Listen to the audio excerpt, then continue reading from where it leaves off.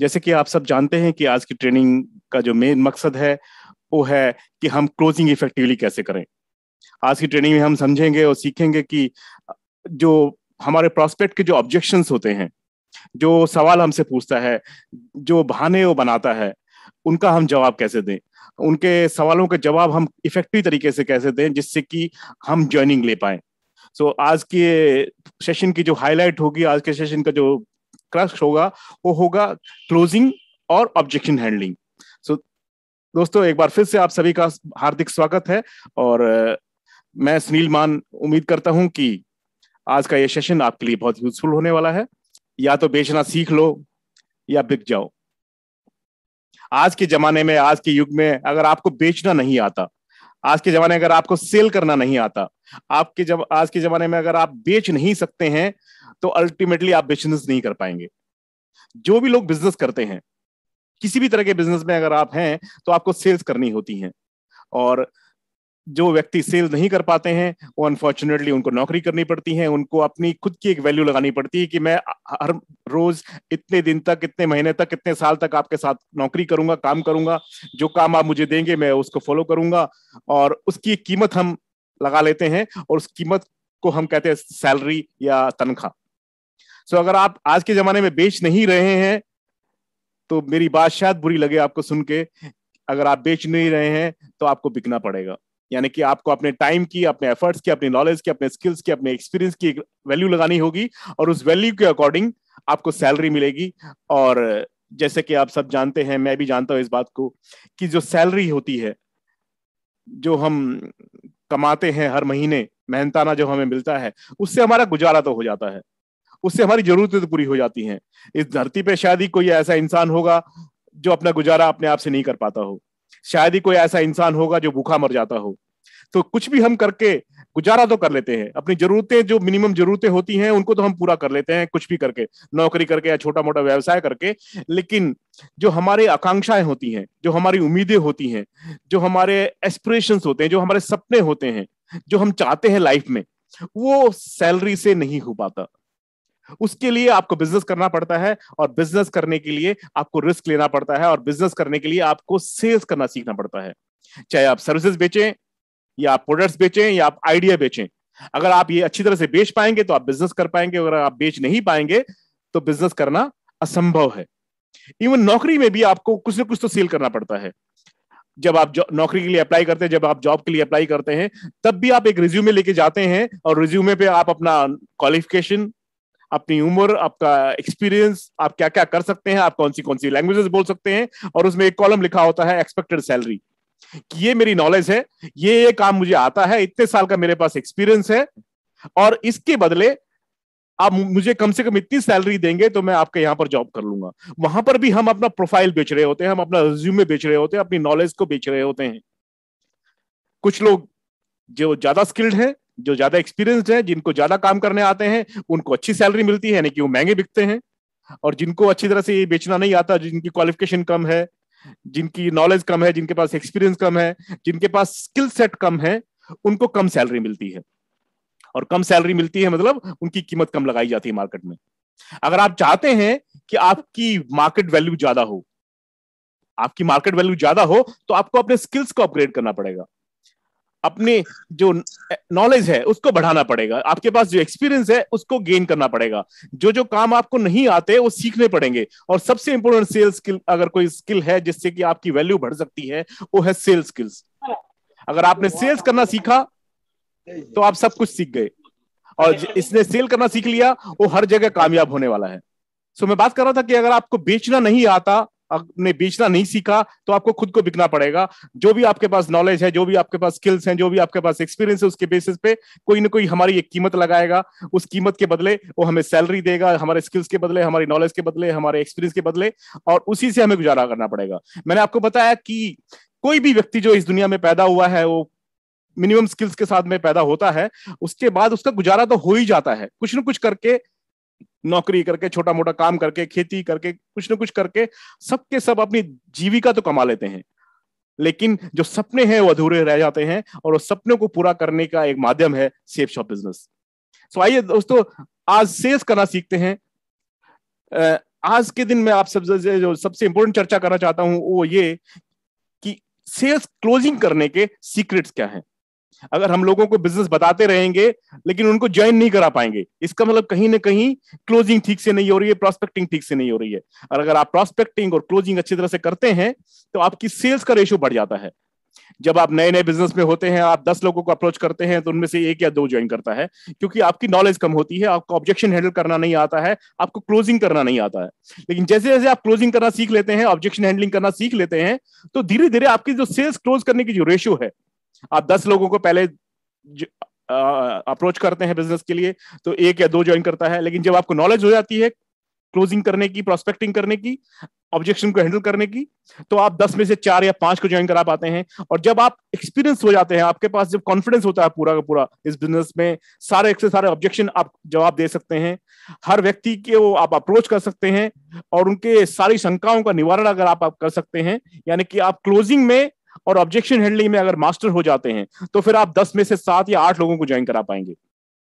सो so, आज का जो ट्रेनिंग है उसमें आप सीखेंगे क्लोजिंग के स्किल्स और आज सीखेंगे कि ऑब्जेक्शन कैसे हैंडल किया जाए। कुछ भी ऑब्जेक्शन हो तो उसका जवाब किस तरह से दिया जाए। अगर ये आपने सीख लिया तो आपको कामयाब होने से कोई रोक ही नहीं सकता। सो so, सबसे पहले क्लोजिंग स्किल्स में इंपॉर्टेंट है कि आप सही सवाल पूछें। आज द राइट क्वेश्चन अगर आपने गलत सवाल पूछा तो जवाब भी गलत ही मिलेगा। जिस तरह का सवाल आप पूछेंगे, वैसे ही जवाब भी आपको मिलेगा। अगर आपने किसी को बिज़नेस प्लान दिखाने के बाद में प्रेजेंटेशन करने के बाद ये पूछ लिया कि आपको कैसा लगा कैसा लगा, ये सबसे खराब सवाल आप अपने किसी प्रोस्पेक्ट से पूछ सकते हैं। अगर इस बिज़नेस में सबसे खराब कोई सवाल है तो है कैसा लगा? वो कह सकता है, मुझे अच्छा नहीं लगा, मुझे समझ में नहीं आया। तो उसके बाद फिर आप असहाय हो जाते हैं, जब आप घिर जाते हैं, आपके पास कोई रास्ता नहीं बचता कि किस तरह से उसको कन्विंस किया जाए, फिर आप आर्ग्यूमेंट करने लग जाते हैं। तो सही सवाल अगर आप पूछेंगे तो आपको सही जवाब मिलेगा। जिस तरह का सवाल आप पूछेंगे, वैसे ही जवाब आपको मिलेगा। अगर आप ये बोलेंगे कि आपको कैसा लगा तो ये सबसे खराब काम आप कर रहे होंगे। और इनिशियली बिगिनिंग में, हर फ्रेशर ये गलती करता है, मैं भी करता था। लेकिन अगर आप ट्रेनिंग अटेंड करते रहेंगे तो आप कुछ पता लग जाएगा कि आपको कौन से सही सवाल पूछने हैं। अगर आपने गलती से पूछ लिया, कैसा लगा तो आज के बाद आप ये सवाल कभी भी मत पूछिएगा। हो सकता है वो सेल आपकी खराब हो गई हो प्रोस्पेक्ट कुछ दिन के लिए पोस्टपोन हो गया हो। तो आज के बाद आप वो सवाल पूछिए जिसका जवाब देने पे वो जवाब मिले जो आप चाहते हैं। आप ऐसा सवाल पूछे जिसका जवाब ऐसा आए जो आप चाहते हैं। जैसे कि अगर आपने पूछा कि हमने आपको सेफ़ शॉप का शानदार बिज़नेस अपॉर्चुनिटी दिखाई। हमने आपको सेफ़ शॉप के शानदार प्रोडक्ट बता, दिखाए। इनमें से आपको ज़्यादा अच्छा कौन सा लगा? सबसे अच्छा कौन सा लगा? तो हमने उसको चॉइस तो दी नहीं कोई और। हमने चॉइस दी कि ज़्यादा अच्छा कौन सा लगा? या तो बिज़नेस ज़्यादा अच्छा लगा, या उनको हमारे प्रोडक्ट बहुत अच्छे लगे। और अगर वो जो भी कहता है, वही आंसर हमें चाहिए था हमारे प्रोस्पेक्ट से।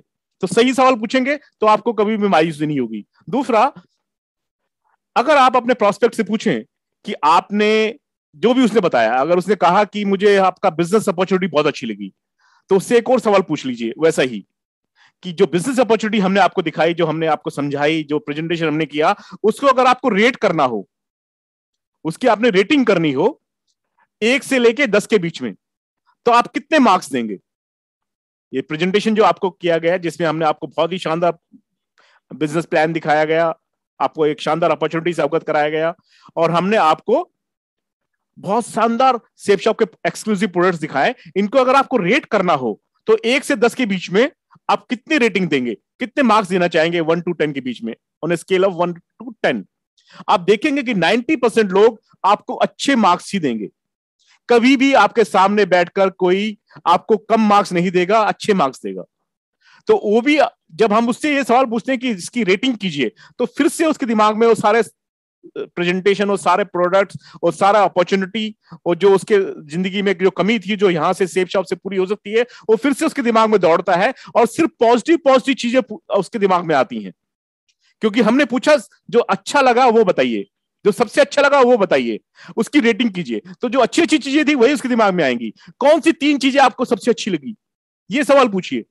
तो कौन सी तीन चीज़ें होंगी वो दिमाग में सोचेगा कि कौन सी कौन सी तीन चीज़ें थी जो सबसे अच्छी थी और जब वो पॉजिटिव सोचेगा तो रिस्पॉन्स भी पॉजिटिव आएगा। बहुत बार क्या होता है, अक्सर क्या होता है, जब हम फ्रेशर होते हैं, हमें प्रोस्पेक्टिंग ठीक से करनी नहीं आती। हमें प्रोस्पेक्ट को अप्रोच कैसे करना है, ये अच्छी तरह से हमें नहीं पता होता। हम कैसे भी उसको अप्रोच कर लेते हैं। और अक्सर हमारी जो अप्रोच होती है, वो अनप्रोफेशनल होती है। हमें नहीं पता कि प्रोस्पेक्ट से कैसे बात करनी चाहिए, किस तरह से उसके सामने बिज़नेस पिच किया जाए। तो अनप्रोफेशनल तरीके से जब हम बिज़नेस को पिच कर लेते हैं, या कई बार ऐसा होता है कि हमें कोई एक्सपीरियंस आदमी मिल जाता है जिसने पहले डायरेक्ट सेलिंग की होती है नेटवर्किंग की होती है। वो थोड़ी देर बाद बात करने के बाद समझ जाता है कि ये डायरेक्ट सेलिंग बिज़नेस है। और वो जैसे ही सामने से बोलता है, क्या ये नेटवर्क मार्केटिंग है?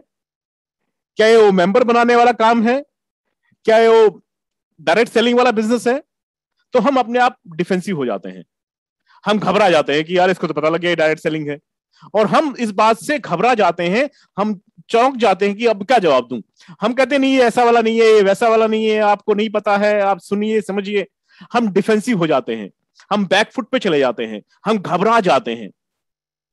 कभी भी अगर आपका प्रोस्पेक्ट बोले कि क्या ये डायरेक्ट सेलिंग है, क्या ये नेटवर्क मार्केटिंग है, क्या ये वो उस टाइप का है या इस टाइप का है, कुछ नाम लेते हैं कंपनियों के नाम, क्या उस टाइप का बिज़नेस है, इस टाइप का बिज़नेस है। जब भी आप को अगर आपका प्रोस्पेक्ट ये बोलता है तो बिल्कुल भी घबराइए मत, बिल्कुल चिंता मत कीजिए। अपना लैपटॉप या अपना प्रेजेंटेशन फोल्डर या जैसे भी आप उसको प्लान दिखा रहे थे, वो बंद कीजिए और उसके बाद मुस्कुराइए और उससे पूछिए अच्छा आपको पता है? अच्छा आप जानते हैं डायरेक्ट सेलिंग के बारे में? अच्छा आपको आइडिया है नेटवर्क मार्केटिंग का? और ये तो बहुत अच्छी बात है। सब कुछ बंद कर दीजिए कूल हो जाइए, मुस्कुराइए और उससे पूछिए आप डायरेक्ट सेलिंग के बारे में जानते हैं, ये तो बहुत अच्छी बात है। क्या क्या जानते हैं, थोड़ा सा मुझे बताइए। और उसके बाद उसको एनकरेज कीजिए बोलने के लिए। आप चुप रहिए, बस उसको एनकरेज करते रहिए बीच में। अच्छा आपको क्या क्या पता है डायरेक्ट सेलिंग के बारे में? अच्छा आपने कितने दिन तक किया था? ओके, आपने क्या काम किया था? कौन सी कंपनी में आपने ज्वाइन किया था? क्या प्रोडक्ट्स खरीदे थे? बस जवाब मत दीजिए, कुछ भी, कुछ कहिए मत डिफेंसिव मत हो जाइए, बस उसको बोलने के लिए एनकरेज करते रहिए। जब वो बोलता रहेगा तो आपको कुछ देर के बाद समझ में आ जाएगा कि अगर ये व्यक्ति जो मेरा प्रोस्पेक्ट है, जिसको मैं बिज़नेस ज्वाइन कराना चाहता हूँ, ये अगर डायरेक्ट सेलिंग इसने पहले की है या इसने सुना है, इसको पता है थोड़ा बहुत तो ये कामयाब क्यों नहीं हुआ? ये आपको तुरंत पता लग जाएगा। तो पहले क्लोजिंग करने के सबसे इफ़ेक्टिव तीन तरीके क्या है? तीन स्टेप क्या है? कि हमेशा क्लोज क्वेश्चंस पूछिए। ऐसे सवाल पूछिए जिनका जवाब सकारात्मक मिले। जैसा जवाब आप चाहते हैं, ऐसे सवाल पूछिए। कोई भी ऐसा सवाल मत पूछिए जिसका जवाब नकारात्मक हो सकता है। ये कभी मत पूछिए कि आपको कैसा लगा। ये कभी मत पूछिए कि आप कब ज्वाइन करेंगे। कैसा लगा पूछने की बजाय, क्या ज़्यादा अच्छा लगा? सबसे अच्छा क्या लगा? तीन सबसे अच्छी चीज़ें क्या लगी प्रेजेंटेशन में? उनकी रेटिंग किस तरह से करना चाहेंगे आप? एक से दस के स्केल के बीच में।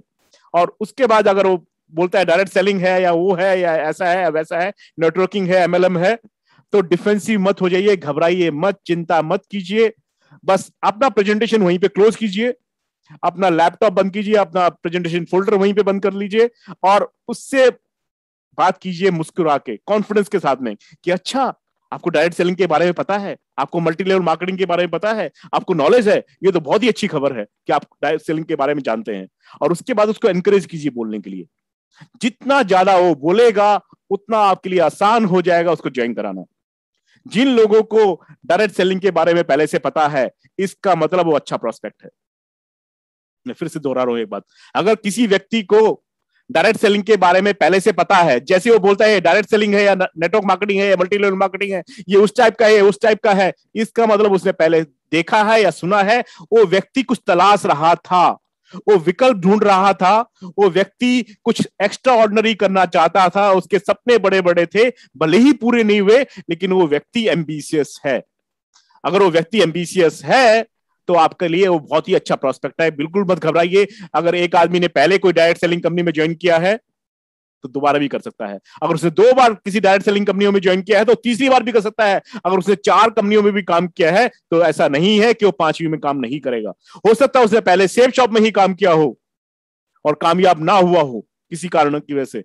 इसका मतलब ये नहीं कि वो सेफ़ शॉप में दोबारा ज्वाइन नहीं करेगा। हमारे यहाँ पर कैसे अनगिनत उदाहरण है, जिन्होंने पहली पारी में कुछ नहीं किया, दूसरी पारी में कुछ नहीं किया, और तीसरी बार आके उन्होंने तहलका मचा दिया, उन्होंने छक्के छोड़ा दिए सबके। तो घबराइए मत। वो बहुत ही अच्छा प्रोस्पेक्ट है, सही जा रहे हैं आप। जैसे मैंने आपको बताया कि अगर वो बोलता है डायरेक्ट सेलिंग है या ये है, वो है, जो भी सवाल है प्रेजेंटेशन के बाद में क्लोजिंग के टाइम पे आपको इस बात का ध्यान रखना है कि आपने ज़्यादा नहीं बोलना है, ज़्यादा सुनना है। सेलिंग एक कला है और इस कला में बोलना कम होता है और सुनना ज़्यादा होता है। बहुत सारे लोग ऐसा करते हैं स्पेशली नए नए कई बार पुराने लोग भी यही गलती करते हैं कि सर, मैं गया था प्लान दिखाने के लिए, मैं क्लोजिंग कर रहा था और गेस्ट फालतू की बातें कर रहा था और मैंने उसकी बोलती बंद कर दी। बहुत बार ऐसा मुझे सुनने को मिलता है कि मैंने प्लान दिखाया था और वो बकवास कर रहा था, बेकार की बातें कर रहा था, बेतुक की बातें कर रहा था और मैंने तो उसकी बोलती बंद कर दी। अगर आपने बोलती बंद कर दी, इसका मतलब आपने सेल्स को वहीं पे बर्बाद कर दिया। बोलती बंद करना हमारा काम नहीं है। बोलती कब बंद होती है? जब आप भी बोलते रहते हैं और सामने वाला कुछ नहीं बोलता। जब वो चुपचाप बैठ जाता है, जब वो चुपचाप बैठ जाता है, वो सुनना नहीं चाहता। वो ह्यूमिलिएट फील करता है, वो इंसल्टिंग फील करता है, उसकी ईगो हर्ट हो जाती है। ऐसे में वो अच्छा डिसीज़न कभी भी नहीं लेगा, आपके फेवर का डिसीज़न कभी भी नहीं लेगा।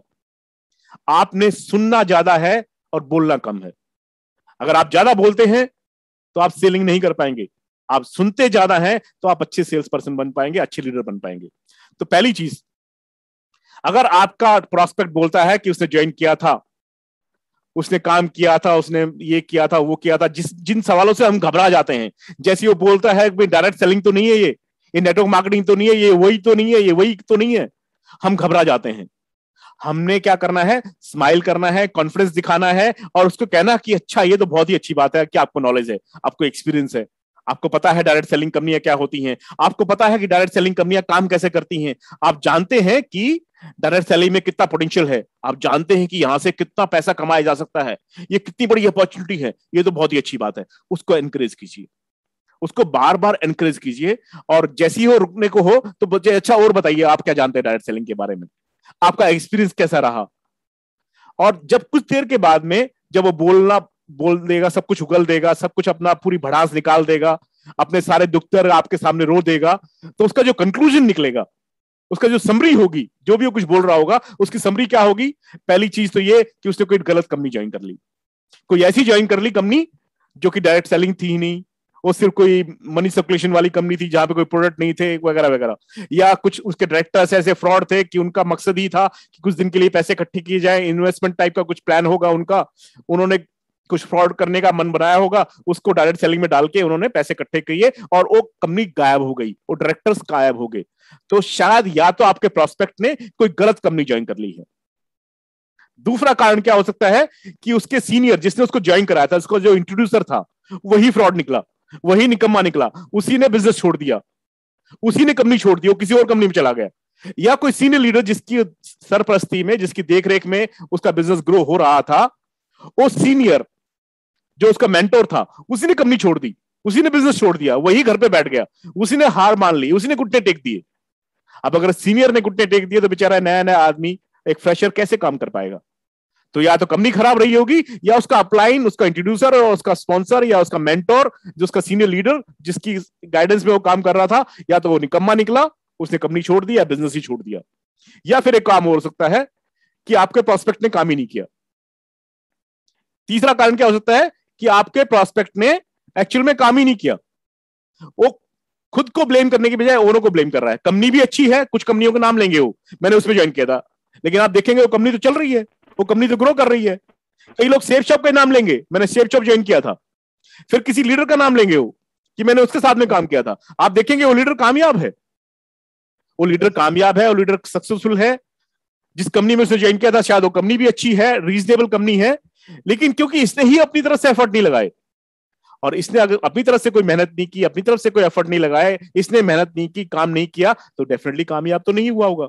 तो कंक्लूजन क्या है? अगर कोई डायरेक्ट सेलिंग बिज़नेस में फेल हो गया है तो? जैसी कोई डायरेक्ट सेलिंग के बारे में बात करता है, बिल्कुल मत घबराइए चीयरफुल रहिए और आराम से बात कीजिए। और उसको एनकरेज कीजिए बात करने के लिए, अपना गुबार निकालने के लिए उसको एनकरेज कीजिए। उसकी जो तकलीफें हैं, थोड़ी सुन लीजिए। अपना कान उसको दे दीजिए। शांति से। और जब वो बोल लेगा जब सब कुछ कह लेगा तो आपको कंक्लूजन क्या मिलेगा? निचोड़ क्या निकलेगा? या तो उसने गलत कंपनी ज्वाइन की है, या उसने गलत लोगों के साथ में ज्वाइन किया है, या उसने खुद ने काम नहीं किया है। और अगर ये तीनों कोई रीजन है, इसके अलावा कोई और रीजन हो नहीं सकता। और यही रीजन है तो आपके लिए बड़ा आसान है इस व्यक्ति को ज्वाइन कराना। उसको क्लोज करना, उसको समझाना कि अगर कंपनी गलत थी तो आप सही कंपनी भी ज्वाइन कर रहे हैं। अगर उसका अपलाइन धोखेबाज था तो यहाँ पर तो हमारे अपलाइन ऐसे ऐसे हैं। अगर आपको पता है कि आपका अप्लाइन पिछली कंपनी में खराब था तो आप अच्छी तरह से हमारे अप्लाइन से मिलिए, मेरे सीनियर से मिलिए, उनके साथ डिस्कस कीजिए और उसके बाद डिसीज़न लीजिए। उनके ऊपर भरोसा हो जाए आपको तो फिर ज्वाइन कर लीजिए। और अगर रीजन ये है कि उसने काम ही नहीं किया तो उसको समझाइए कि देखिए, दुनिया में कहीं पर भी मुफ़्त में पैसा नहीं मिलता है। पैसा कमाने के लिए हमें मेहनत करनी पड़ती है, हमें एफर्ट लगाने पड़ते हैं। जो भी रीजन हो, उसके बेसिस पे आप उसकी सेल को क्लोज कर लीजिए, ज्वाइन करा लीजिए। एक और चीज़ जैसे मैंने बताया कि जैसे ही कोई ऑब्जेक्शन करता है, एक नया नया आदमी हमारे बिज़नेस में आता है, वो किसी के सामने बिज़नेस का प्रपोजल लगता है और बिज़नेस प्रपोजल रखने के बाद जैसे ही कोई सवाल हल्का सा पूछ लेता है अच्छा ये वही है? अरे यार, ये तो नहीं है, ऐसा तो नहीं है, वैसा तो नहीं है। यार, मेरे पास टाइम कहाँ है?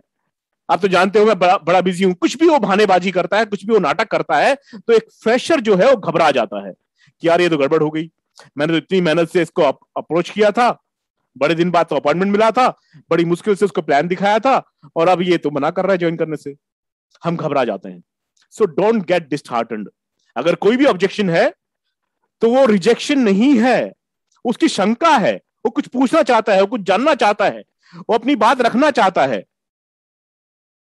सो so, प्लीज़ ध्यान रखिए इस बात का कि कोई भी ऑब्जेक्शन रेज करता है तो घबराना नहीं है। चिंता नहीं करनी है कोई बात नहीं आप सही रास्ते पे जा रहे हैं। अगर ऑब्जेक्शन है तो बहुत अच्छी बात है। ऑब्जेक्शन है तो क्या है? ये सेल्स का प्रोसेस है। अगर कुछ बोलता ही नहीं है प्रोस्पेक्ट तब गड़बड़ है। अगर प्रोस्पेक्ट कुछ बोलता है तब तो अच्छी बात है। अब, अब अगर प्रोस्पेक्ट बोलता ही नहीं है तो मुश्किल है वो घुन्ना है। वो चुपचाप रहने वाला है वो बड़ा रिज़र्व आदमी है। वो अपने बारे में कुछ बताना नहीं चाहता। वो चुप रहना चाहता है। ऐसे प्रोस्पेक्ट को डील करना थोड़ा सा मुश्किल होता है। लेकिन अगर प्रोस्पेक्ट बोलता है प्रोस्पेक्ट अपनी बात रखता है अपनी बात खुल के आपके डिस्कस करता है, कुछ ऑब्जेक्शन रेज करता है तो ये तो अच्छी बात है, ये तो प्रोसेस है। प्रोसेस का मतलब आपको मैं समझाना चाहता हूँ। अगर एक लड़की की शादी हुई है, ध्यान से समझिए मेरी बात को, अगर एक लड़की की शादी हुई है और वो शादी के बाद, कुछ टाइम के बाद प्रेग्नेंट हो जाती है, अगर एक लड़की की शादी होती है और वो प्रेग्नेंट हो जाती है तो जब वो प्रेग्नेंट होती है तो उसको उल्टी आती है। उसका जी खराब रहता है, उसको शायद चक्कर आ सकते हैं। है ना? उसकी बॉडी का शेप थोड़ा सा बदल जाता है। उसको पेन होता है। बच्चा तकलीफ़ करता है पेट के अंदर। यानी कि एक औरत जो प्रेग्नेंट है, उसको बहुत सारी तकलीफें होती हैं। अगर तकलीफें हो रही हैं, इसका मतलब बच्चा पेट में ठीक ठाक है। माँ की कोख में बच्चा सुरक्षित है। वो लात मार रहा है, वो हलचल कर रहा है तो बच्चा मतलब ठीक ठाक है। राइट अगर उसको उल्टी आ रही है तो मतलब ठीक ठाक है। कोई प्रॉब्लम नहीं है। क्योंकि हम घबरा जाते हैं। हम जानते हैं कि हाँ अगर एक औरत प्रेग्नेंट है तो ये सारी चीज़ें हैं। ये प्रोसेस है, बच्चा ऐसे ऐसे ही पैदा होता है। वैसे ही, ठीक उसी तरह से, अगर प्रोस्पेक्ट कुछ सवाल उठाता है, अगर कुछ बातें पूछता है, कुछ उसके ऑब्जेक्शन होते हैं, उसके कुछ डाउट्स होते हैं तो घबराना नहीं है, ये सेल्स का एक प्रोसेस है। इसी तरह से सेल होती है राइट तीसरी चीज़, अगर कोई प्रोस्पेक्ट ऐसा है, जो चुपचाप बैठता है और आपसे साइन अप करता है पेमेंट देता है और आसानी से ज्वाइन हो जाता है। कुछ नहीं रेज करता कुछ भी सवाल नहीं करता कुछ भी बातें नहीं करता आसानी से आप उसको ज्वाइन करा लेते हैं। तो आप समझ लीजिए ऐसा प्रोस्पेक्ट आसानी से बिज़नेस से बाहर भी हो जाएगा। जो प्रोस्पेक्ट आसानी से ज्वाइन हो जाते हैं बिना किसी ऑब्जेक्शन के ज्वाइन हो जाते हैं बिना किसी डाउट किए बहस किए बिना कुछ तर्क वितर्क किए आसानी से आसानी से जो ज्वाइन हो जाते हैं वो आसानी से बिज़नेस से बाहर हो जाते हैं। सो so, अगर कोई ज्वाइन कराना मुश्किल है? मुझे ज्वाइन कराना बहुत मुश्किल काम था। मैं आपको पर्सनली बता रहा हूँ ये बात। मुझे सेफ़ शॉप बिज़नेस में या डायरेक्ट सेलिंग में नेटवर्क मार्केटिंग में ज्वाइन कराना बहुत ही मुश्किल काम था। मेरा जो हेड था ना, वो बहुत स्ट्रांग था। मैं इजीली डिसीज़न नहीं लेता हूँ। मैं जल्दी से गिव अप नहीं करता हूँ। मैं जल्दी से किसी चीज़ के लिए हाँ नहीं करता हूँ। मैं तर्क वितर्क करता हूँ, मैं सोचता हूँ, मैं मंथन करता हूँ, उसके बाद डिसीज़न लेता हूँ। तो अगर किसी अनप्रोफेशनल व्यक्ति ने अगर मुझे अप्रोच किया होता किसी ऐसे व्यक्ति ने मुझे अप्रोच किया होता जिसको नॉलेज नहीं थी। या उसके साथ कोई ऐसा व्यक्ति नहीं आया होता जो एक्सपीरियंस होता तो मैं कभी भी डायरेक्ट सेलिंग बिज़नेस में नहीं आता। मेरा ज्वाइन करना जितना मुश्किल था, अब मुझे इस बिज़नेस से निकालना उससे कई गुना ज़्यादा मुश्किल है। मैंने ज्वाइन करने में बहुत कुछ सोचा था, बहुत कुछ टाइम लगाया था, मैंने बहुत नखरे दिखाए थे या मैंने बहुत सारे ऑब्जेक्शन रेज किए थे। मैंने अपने स्पॉन्सर का जीना हराम कर दिया था। वो परेशान हो गया होगा मुझे ज्वाइन कराने के लिए उसको दांतों चने, दांतों तले चने दबाने, चबाने पड़े होंगे, क्या बोलते हैं? है ना, बहुत मुश्किल रहा होगा उसके लिए मुझे ज्वाइन कराना। इसीलिए आज तक मैं टिका हुआ हूँ। अगर मेरी क्लोजिंग हमारी कंपनी के आदरणीय डायरेक्टर रजत वर्मा सर ने ना की होती, ऐसी ज़बरदस्त पर्सनैलिटी से मुझे ना मिलवाया होता, रजत सर जैसे गजब की पर्सनैलिटी से अगर मेरा इंट्रोडक्शन ना हुआ होता, उनने अपने रूम में बैठा के मेरी क्लोजिंग ना की होती तो मैं कभी शायद ज्वाइन नहीं करता। क्योंकि मेरी क्लोजिंग एक ऐसे व्यक्ति ने की थी, जिनकी शकल देख के, जिनका नाम सुन के, जिनकी फ़ोटो देख के, जिनको महसूस करके दूर से भी हम मोटिवेट हो जाते हैं चार्ज अप हो जाते हैं, उनकी ऐसी गजब की पर्सनैलिटी है। अगर उन्होंने मेरी क्लोजिंग ना की होती तो मैं सेफ़ शॉप बिज़नेस में नहीं आया होता। सो ध्यान रखिए, अगर कोई व्यक्ति ज्वाइन करने में टाइम लगा रहा है, वक्त लगा रहा है तो इसका मतलब वो आपके साथ टिककर काम करेगा, लंबे समय तक आपके साथ काम करेगा। लेकिन जो आसानी से ज्वाइन हो जाता है, वो आसानी से बिज़नेस को छोड़ के भी चला जाता है। राइट बहुत बार ऐसा होता है कि हम अपने प्रोस्पेक्ट के सवालों से हम इरिटेट हो जाते हैं। वो कुछ ऐसी बेहुदा बातें बोल देता है। हम जानते हैं वो बातें जो बोल रहा है वो बेवकूफ़ वाली है। हमें पता है कि जो उसके सवाल है, वो बचकाने हैं। हमें पता है कि व्यक्ति जानबूझ के इस तरह की बातें कर रहा है। वो हमें इरिटेट करना चाहता है, हमें चिड़ाना चाहता है, हमें परेशान करना चाहता है। और अगर हम चिढ़ गए, हम इरिटेट हो गए, हमारे माथे पे सिकन आ गई हमने गिव अप कर दिया।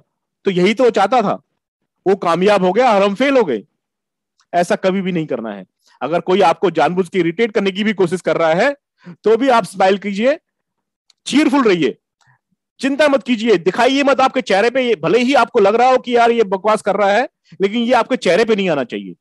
ये आपके आव भाव में नहीं आना चाहिए। आपको दिखना चाहिए कि आप चीयरफुल है और आपके चेहरे से स्माइल नहीं जाने चाहिए। स्माइल जो है, वो सेल्स में सबसे ज़्यादा काम की चीज़ है। मैं रिपीट कर रहा हूँ एक बात को। जो स्माइल है, वो आपके बिज़नेस में सबसे इंपॉर्टेंट चीज़ है। स्माइल जो है, वो सबसे गजब का टूल है। और ये मैंने पर्सनली फील किया है। मुझे दो बार मौका मिला है श्री श्री रविशंकर जी को होस्ट करने का। एक बार सौभाग्य में और एक बार आशीर्वाद में। दोनों बार इंदिरा गांधी इंडोर स्टेडियम में हमें मौका मिला। एक बार उन्होंने जब भगवत गीता को लॉन्च किया और दूसरी बार जब उन्होंने संपूर्ण हनुमान लॉन्च किया हमारे लिए, किस्मत से मुझे मौका मिला श्री श्री रविशंकर जी के करीब आने का, उनको होस्ट करने का, उनके स्टेज में मिलने का और उनसे एक शॉल जो उन्होंने मुझे प्रेजेंट किया, ये बहुत ही लकी मैं अपने आप को मानता हूँ। और मैं, उनका कोई कोई हार्ड कोर फॉलोअर नहीं था। पहले, मैं उनके बारे में ज़्यादा जानता नहीं था, मैं उनके कोई हार्ड कोर फॉलोअर भी नहीं था, अब भी उतना हार्ड कोर नहीं हूँ। लेकिन मैं देख रहा था, उनको ऑब्ज़र्व कर रहा था, मैं जानना चाह रहा था कि इस पर्सनैलिटी के अंदर ऐसा क्या है कि इनको दुनिया भर के करोड़ों लोग फॉलो करते हैं। करोड़ों लोग, अरबपति, खरबपति लोग, बड़े से बड़ा व्यक्ति इनकी बात को सुनता है, ध्यान से सुनता है और इनसे मिलना चाहता है, इनके करीब आना चाहता है। इनके अंदर क्या है? इनकी पर्सनैलिटी ऐसी क्या चीज़ है जिसकी वजह से ये आदमी इतना पॉपुलर है, इतना सक्सेसफुल है? ये पर्सनैलिटी है क्या? और मैंने देखा, दोनों बार लगभग घंटा भर हमारे बीच में रहे, डेढ़ घंटा, दो घंटा हमारे बीच में रहे, और मैंने एक चीज़ को महसूस किया कि उनके चेहरे से स्माइल ही नहीं गई कभी भी। श्री श्री रविशंकर जी के चेहरे से स्माइल ही नहीं गई। मैं स्टेज पे था, पीछे से लोग चिल्ला रहे थे कि मुझे आवाज़ नहीं आ रही। थोड़ा ज़ोर से बोलिए माइक में कुछ दिक्कत थी साउंड सिस्टम में कुछ दिक्कत थी। मैं देख रहा था कि कुछ दिक्कत हो रही है। लेकिन उसके बावजूद भी मैंने नोटिस किया कि श्री श्री रविशंकर जी इतने कूल एंड काम थे। बिल्कुल हंस रहे थे, मुस्कुरा रहे थे, और वो बिल्कुल इरिटेट नहीं हुए, उनको बिल्कुल गुस्सा नहीं आया। वो बिल्कुल इस बात से नाराज़ नहीं हुए कि आपने साउंड सिस्टम ठीक से क्यों नहीं लगाया या उसमें दिक्कत बीच में कैसे आ गई। वो बिल्कुल उनको कोई चिंता नहीं हुई। वो आराम से कूलली कह रहे थे, ठीक है, मैं ज़ोर से बोलता हूँ। थोड़ी देर में शायद सिस्टम दुरुस्त हो जाएगा, आप बेफिक्र रहिए। उनके चेहरे से वो स्माइल नहीं गई। वो घबराए नहीं। उनको कोई चिंता नहीं हुई, उनके वो गुस्सा नहीं आया।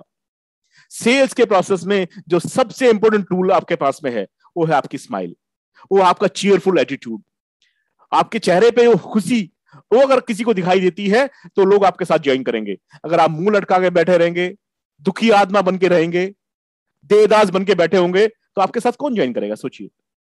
अगर आप मुँह लटका लेते हैं, घबरा जाते हैं देदास बन जाते हैं, चेहरा लटक जाता है चेहरे पे स्माइल नहीं आती, आपके अंदर उसको एक दुखी आत्मा नज़र आता है तो क्या वो ज्वाइन करेगा आपके साथ?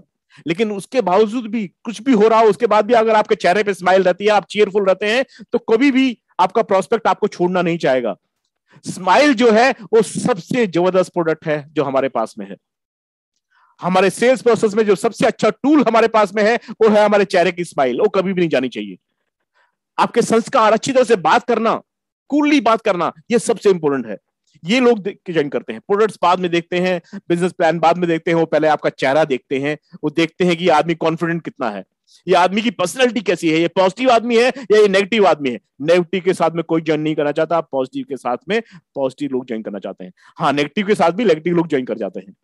जिनकी सोच नकारात्मक होती है ना, उनके साथ नकारात्मक सोच के लोग ही ज्वाइन करते हैं। इसलिए चीयरफुल रहिए कभी भी घर आइए मत। अगर आपका प्रोस्पेक्ट आपको इरिटेट भी कर रहा है तो इरिटेट मत होइए चेयरफुल रहिए स्माइल रखिए। जो भी सवाल आपका प्रोस्पेक्ट पूछता है, ध्यान रखिए इस बात को। वो कुछ भी सवाल पूछता है, उसके कुछ भी ऑब्जेक्शन होते हैं डायरेक्टली आंसर मत कीजिए।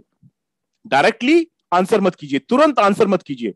उसने बोला, मेरे पास टाइम नहीं है, और आपने बोल दिया अच्छा तू कौन सा इतना बड़ा राष्ट्रपति लग रखा है, प्रधानमंत्री लग रखा है, जो तेरे पास टाइम नहीं है। क्या होगा उससे? उसकी ईगो हर्ट हो जाएगी। अगर उसे बोला, मेरे पास पैसे नहीं है और आपने बोल दिया अच्छा फिर कटोरा ले ले भीख मांग ले। तो क्या हुआ? क्या कभी भी वो ज्वाइन करेगा? आपने जवाब तो दे दिया उसकी बोलती तो बंद कर दी लेकिन क्या ज्वाइनिंग आ जाएगी? सो so, कभी भी डायरेक्टली आंसर मत कीजिए तुरंत आंसर मत कीजिए स्माइल कीजिए और इनडायरेक्ट आंसर कीजिए। और अगर वो कहता है कि प्रोडक्ट महँगे हैं तो स्माइल कीजिए। अच्छा आपको लग रहा है शायद प्रोडक्ट महँगे हैं। शायद हो सकता है मैं आपकी फीलिंग्स की कदर करता हूँ। मैं जानना चाहता हूँ कि आपको प्रोडक्ट महँगे कैसे लगे? आंसर मत कीजिए। है ना? कौन सा प्रोडक्ट आपको ज़्यादा महँगा लगा? हो सकता है। मैं आपकी बात को एंडोज करता हूँ। हो सकता है। है ना? घबराइए मत। चीयरफुल रहिए। जो भी वो बोलता है, तुरंत आंसर मत दीजिए। ये मत कहिए कि देखिए यार, उसका कैचअप तो इतने का आता है, हमारा इतने का आता है, हमारा तो उल्टा सस्ता है, तू कैसे है महँगा है? ऐसा मत कीजिए। उसकी ईगो को हट मत कीजिए। जो कहता है, मान लीजिए। एंडोज कीजिए उसकी बात को। स्माइल कीजिए और तुरंत जवाब देने की बजाय रुकिए होल्ड कीजिए डायरेक्टली आंसर मत कीजिए, तुरंत आंसर मत कीजिए। उल्टा क्या कीजिए? उसकी बात को वैल्यू दीजिए। हर आदमी वैल्यू चाहता है। उसकी बात को वैल्यू दीजिए। उसकी बात पे एग्री हो जाइए, सहमत हो जाइए। और एक काम कीजिए, एक नोट पैड लीजिए। एक नोट पैड लीजिए पेन लीजिए। और उसके जो भी सवाल है, लिख लीजिए। नोट पैड लीजिए टूल्स लीजिए, जो भी आपके पास में है, और लिख लीजिए। अच्छा आप कह रहे हैं कि ये आपके पास थोड़ा टाइम की दिक्कत है। ओके अच्छा आप कह रहे हैं कि आपको ये प्रोडक्ट थोड़े से महँगे लग रहे हैं, लिख लीजिए। क्या होता है, जब आप लिखते हैं, जब उसकी बात को नोट करते हैं, उसकी बात को ध्यान से सुनते हैं तो उसको अपनी अहमियत समझ में आती है। आपको पता है कि बकवास है, लेकिन आप उसको वैल्यू दे रहे हैं। जब आप किसी को वैल्यू देंगे तो आपको वैल्यू देगा। जब आप उसकी बात को नोट करेंगे, उसकी बात से सहमत होंगे तो वो एनकरेज होगा डिस्करेज नहीं होगा। उसकी ईगो सेटिस्फेक्शन होगा। उसको लगेगा कि हाँ मैंने भी कुछ बोला है। कुछ लोग सिर्फ़ ऑब्जेक्शन करने के लिए ऑब्जेक्शन करते हैं। सिर्फ़ सवाल उठाने के लिए सवाल करते हैं। अपना दिखाने के लिए कि मुझे भी कुछ नॉलेज है, मैं भी कुछ जानता हूँ, उसके लिए बातें करते हैं। तो वो उनका ईगो सेटिस्फेक्शन के लिए कुछ बोलते हैं। तो एक्सेप्ट कर लीजिए। ज़रूरी है कि उसको लगे कि जो भी उसने बोला है, उसको आपने ध्यान से सुना है। ब्रैकेट में लिखा हुआ नीचे थिएट्रिक्स थिएट्रिक्स मतलब दिखावा करना। आप कम से कम दिखावा कीजिए। भले ही आपको लग रहा है कि बकवास है, लेकिन आप दिखावा कीजिए इस बात का। दिखाइए डेमोस्ट्रेट करके। हाँ बिल्कुल आप कह रहे हैं कि आपको ये प्रॉब्लम है। मैं समझता हूँ। मैं इसके ऊपर बात करूँगा आपसे। मैं इसके साथ, इसके लिए आपके साथ डिस्कशन करूँगा। ठीक है? मैं आपकी शंका का निवारण करने की कोशिश करूँगा। वेरी गुड है ना? एंकरेज कीजिए। नोट कर लीजिए उसके बात को। इसको बोलते हैं थिएट्रिक्स दिखावा करना एक्टिंग करना। थिएटर में हम क्या करते हैं? एक्टिंग करते हैं ना? तो ऐसी कुछ एक्टिंग कीजिए कि आप उसकी बात को बहुत अच्छी तरह से सुन रहे हैं, समझ रहे हैं और उससे आप सहमत हैं। कभी भी ध्यान रखिए प्रोस्पेक्ट के साथ आर्ग्यूमेंट मत कीजिए। अगर आपने अपने प्रोस्पेक्ट के साथ बहस कर ली तो बहस करने का काम वकीलों का होता है। सेल्स के लोग कभी भी बहस नहीं करते हैं। अगर आप आर्ग्यूमेंट कर रहे हैं, अगर आप आर्ग्यूमेंट जीतने की कोशिश कर रहे हैं, उसकी बोलती बंद करने की कोशिश कर रहे हैं, अगर आप संवाद में जीतना चाहते हैं तो आप सेल्स में हार जाएँगे। अगर आपने कोशिश की आर्ग्यूमेंट जीतने की तो आप सेल्स हार जाएँगे। आप प्रोस्पेक्ट को हार जाएँगे, आप प्रोस्पेक्ट को खो देंगे। आप भले ही जीत जाएँगे आर्ग्यूमेंट लेकिन प्रोस्पेक्ट को खो देंगे सेल को खो देंगे आप। सोच के देखिए, अगर आपको जज के साथ बहस करनी है जज के साथ आर्ग्यूमेंट करना है डिसीज़न किसने लेना है? आप जितनी मर्ज़ी अच्छी बहस कर लीजिए, दो वकील आपस में बैठ के जैसी बहस कर ले। लेकिन अगर आप जज के साथ बहस करेंगे जज के जज को इरिटेट कर देंगे तो क्या कभी भी आपके फेवर में डिसीज़न आएगा? आप जज के साथ आर्गुमेंट नहीं करते ना? आप जज के साथ बहस नहीं करते ना। और हमारे केस में जज कौन है? उसने ज्वाइन करना है, नहीं करना है किसके हाथ में है? ये हमारे हाथ में नहीं, हमारे प्रोस्पेक्ट के हाथ में है।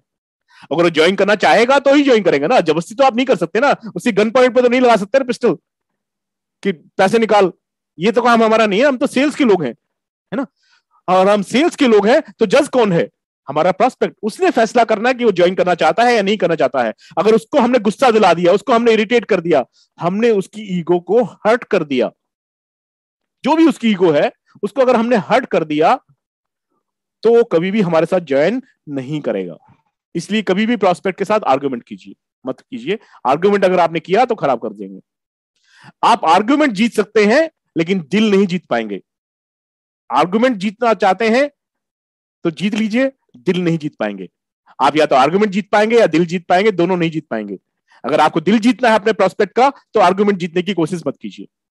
राइट नेक्स्ट बहुत बार ऐसा होता है कि जो आपके प्रोस्पेक्ट के जो रियल इश्यूज़ है ना, जो उसकी रियल कंसर्न है, जो उसको रियल प्रॉब्लम है, जो उसको रियल दिक्कत है ना, उसको छिपाने की कोशिश करता है। जैसे एक एग्ज़ाम्पल के लिए आप बचपन में याद कीजिए, जब आप स्कूल जाते थे। हो सकता है आपने स्कूल में होमवर्क ना किया हो और आपको ये डर है कि स्कूल में जाऊँगा होमवर्क चेक होगा तो मास्टर पिटाई करेगा, डांटेगा। तो हम अपने पेरेंट्स को ये नहीं बताते कि मैंने होमवर्क नहीं किया हुआ है, मुझे डर लग रहा है कि स्कूल में जाऊँगा तो मेरी पिटाई हो जाएगी या मुझे वहाँ पर पनिशमेंट मिलेगा।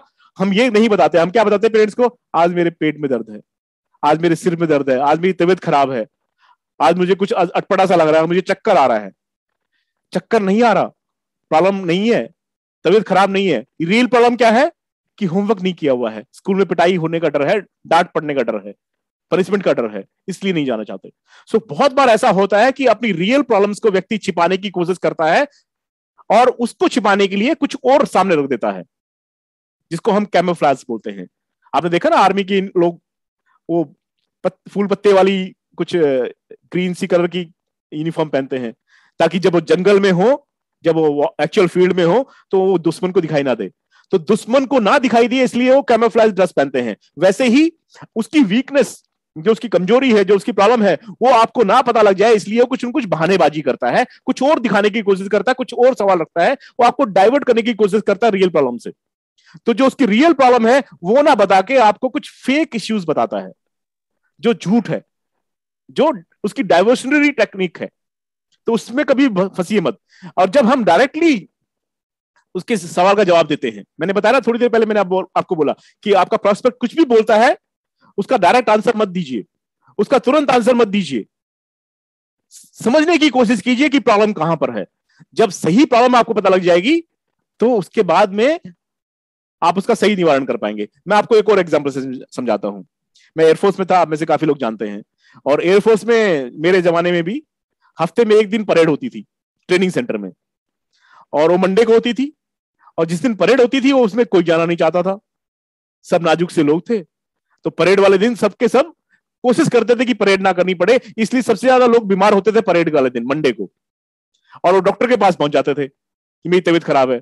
अब डॉक्टर को पता है कि बाकी दिनों में मरीज़ कम आते हैं और सोमवार को मरीज़ बहुत ज़्यादा आ रहे हैं तो उसको पता है ना ये बात कि इसको बीमारी नहीं है, ज़्यादातर लोग वो हैं जो बहानेबाज हैं, जो परेड नहीं करना चाहते। तो डॉक्टर भी समझदार था। अब डॉक्टर क्या करता था? जैसी कोई मरीज़ उसके पास जाता था जो कि परेड से बचने के लिए उसके पास आया है। डॉक्टर उससे पूछता था अच्छा क्या तकलीफ़ है? तो मरीज़ कुछ सोच के जाता था, कुछ ना कुछ बीमारी बताऊँगा उसको। वो कहता था, सर, सिर में दर्द हो रहा है। तो सिर दर्द की दवाई नहीं देता था। डॉक्टर क्या बोलता था? अच्छा सिर में दर्द है आपको। सिर दर्द के अलावा कोई तकलीफ़ है? फिर बोलता था, सर, पेट में भी दर्द है थोड़ा सा। अच्छा पेट में भी दर्द है, सिर में भी दर्द है। अच्छा कोई और तकलीफ़ है क्या? बोलता, सर, घुटने में भी थोड़ा सा दर्द हो रहा है। अच्छा घुटने में भी दर्द है, पेट में भी दर्द है, सिर में भी दर्द है। और अच्छा और कोई तकलीफ़ है क्या? नहीं, सर, बस एंकल में भी थोड़ा सा पेन लग रहा है। अब डॉक्टर ये बात अच्छी तरह से जानता है कि सिर में भी दर्द है, पेट में भी दर्द है, घुटने में भी दर्द है और एंकल में भी दर्द है। ये आपस में कोई इनका मिलाव नहीं है। इसका मतलब उसको प्रॉब्लम क्या है? कि उसको परेड से बचना है। तो ऐसे व्यक्ति को दवाई ना देके, उसका इलाज ना करके, उसको आराम करने की सलाह ना देके, उसको बोलता था रिटर्न टू योर यूनिट अपनी यूनिट में वापस जाओ और जाके वहाँ पे दिखा दो। वो रेड पेन से लिख देता था रिटर्न टू यूनिट और साइन करके स्टेम मार के दे देता था। और वहाँ पर जाते उसको, उसका इलाज मिल जाता था। जब वो अपनी यूनिट में जाता था, जब वहाँ पे जाता था, जहाँ परेड हो थी, वहाँ पे उसको लिखा हुआ रेड पेन से। तो जहाँ पर जो इंस्ट्रक्टर होते थे, वो समझ जाते थे कि ये वहाँ से आया है तो उसको डबल कराते थे। तो लेकिन कुछ जो एक्सपीरियंस लोग होते थे ना, वो क्या करते थे, जब डॉक्टर पूछता था, सिर में दर्द है? तो बोला हाँ सिर में दर्द है। अच्छा उसके अलावा कोई तकलीफ़ है मतलब नहीं, सिर में दर्द है। बोला, सिर दर्द के अलावा कोई तकलीफ़ है? मैं नहीं, बिल्कुल सिर सिर दर्द के अलावा कोई तकलीफ़ नहीं, सिर में दर्द है। तो जो समझदार लोग थे, वो बोलते थे एक ही पेट, एक ही जगह अटक जाते थे। जो बोलते थे पेट में दर्द है तो बोलते हाँ पेट में ही दर्द है। इसके अलावा कोई तकलीफ़ नहीं, पेट में ही दर्द है। तो डॉक्टर सोचता था, यार, हो सकता है सच में इसको पेट में दर्द हो। अगर वो बहुत सारी चीज़ें बता रहा है, इसका मतलब झूठ बोल रहा है, और अगर वो बोल रहा है बार बार कि उसको यही एक तकलीफ़ है, इसका मतलब हो सकता है। तो ऐसे में वो दवाई दे देता था। तो जब प्रोस्पेक्ट बार बार अपने सवाल बदलता है बार बार अपने इश्यूज़ डिफरेंट चेंज कर चेंज करता रहता है तो समझ लीजिए कि वो भानेबाजी कर रहा है। लेकिन अगर आप तुरंत आप जवाब देते रहेंगे, पहले आप, उसने बोला कि मेरे पास टाइम नहीं है, आपने उसका जवाब देने की कोशिश की। लेकिन जज तो वही है ना। फिर वो बोलेगा, मेरे पास पैसे नहीं है। फिर आपने जवाब देने की कोशिश की कन्विंस करने की कोशिश की। फिर वो कहता है, यार, थोड़े महँगे भी लग रहे हैं। फिर आप देने की कोशिश करेंगे तो क्या होगा? उसके सवाल बदलते रहेंगे। उसकी गोल पोस्ट शिफ्ट होती रहेगी। और कभी भी आप उसको क्लोज नहीं कर पाएँगे सेल नहीं कर पाएँगे। इसलिए मैंने बोला कि जो रियल इश्यूज़ हैं, वो अलग होते हैं और जो बोल रहा है, वो एक्चुअल में कुछ और है, उसको बचाने की कोशिश कर रहा है रियल इश्यू से बचना चाहता है वो। अपनी कमज़ोरी बताना नहीं चाहता आपको। इसलिए तुरंत जवाब मत दीजिए। तुरंत आंसर मत कीजिए। इंस्टेड आराम से उसकी बात को सुनिए, समझिए और जानने की कोशिश कीजिए कि उसको एक्चुअल में प्रॉब्लम क्या है। जो एक्चुअल प्रॉब्लम होते हैं, वो कुछ और होते हैं और जो भानेबाजी करता है, कुछ और होते हैं। जो भानेबाजी हो क्या क्या है? अक्सर लोग बोलते हैं, मेरे पास टाइम नहीं है। या बोलते हैं, मेरे पास पैसे नहीं है। या बोलते हैं कि प्रोडक्ट्स थोड़े से महँगे लग रहे हैं मुझे। ये उसकी भानेबाजी है। ये उसका ड्रामा है। ये उसका नाटक है। ये रियल प्रॉब्लम नहीं है। अगर कोई बोलता है कि उसको टाइम की ही दिक्कत है, और इसी बात पर लग जाता है कि बस टाइम की ही दिक्कत है मुझे। अगर उस एक के बाद, एक के बाद, एक के बाद बहुत सारे बहाने बना रहा है। इसका मतलब तो आप समझ गए कि ये जो उसके इश्यूज़ हैं, ये कुछ और है। ये झूठ है, ये गलत है, ये बहानेबाजी है। रियल प्रॉब्लम कुछ और है। वो आपको पता लगानी है बात करके उससे। लेकिन अगर कोई एक ही चीज़ पे अटक गया कि यार मेरे पास तो टाइम की ही कमी है, बाकी तो सब बढ़िया है तो फिर आप जवाब दीजिए। जब वो एक ही बात पे अटक जाता है, एक ही सवाल पे अटक जाता है, एक ही जगह उलझा रहता है, तब आपको जवाब देना है कि हाँ सर, मैं समझ सकता हूँ कि आप बिज़ी हैं, मैं जानता हूँ, है ना? और सम... बिज़ी होना तो बहुत अच्छी बात है। हमारे बिज़नेस में तो वही लोग कामयाब होते हैं जो बिज़ी होते हैं। जो लोग निकम्मे हैं, जो खाली बैठे रहते हैं, जिनको पास कोई काम ही नहीं है, उनका सर्कल भी तो ऐसे ही होता है निकम्मों का। जो आदमी कुछ भी नहीं करता, जब खाली बैठा रहता है वो सारे दिन बीड़ी पीता रहता है चबूतरे में बैठ के आते जाते वालों में कमेंट करता रहता है, जिसके पास कोई काम ही नहीं है, उसका सर्कल कैसा होगा? उसके जैसा ही होगा।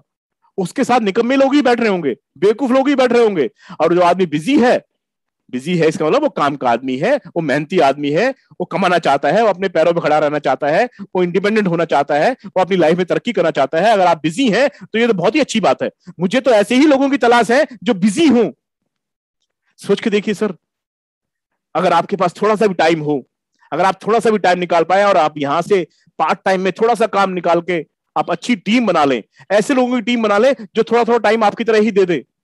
तो कुछ टाइम आप देंगे, कुछ टाइम देंगे वो लोग जिनको आपने ज्वाइन कराया है और दो दो घंटे आप लगाएँगे दो दो घंटे वो लगाएँगे, फिर वो लोग कुछ लोगों को ज्वाइन कराएँगे, फिर वो भी दो दो घंटे टाइम लगाएँगे तो आप देखिए धीरे धीरे क्या होगा कि आप भले ही दो घंटे काम कर रहे होंगे, लेकिन आपकी टीम में दस घंटे, बारह घंटे, पंद्रह घंटे हर रोज काम हो रहा होगा और हर रोज सेल्स आ रही होंगी।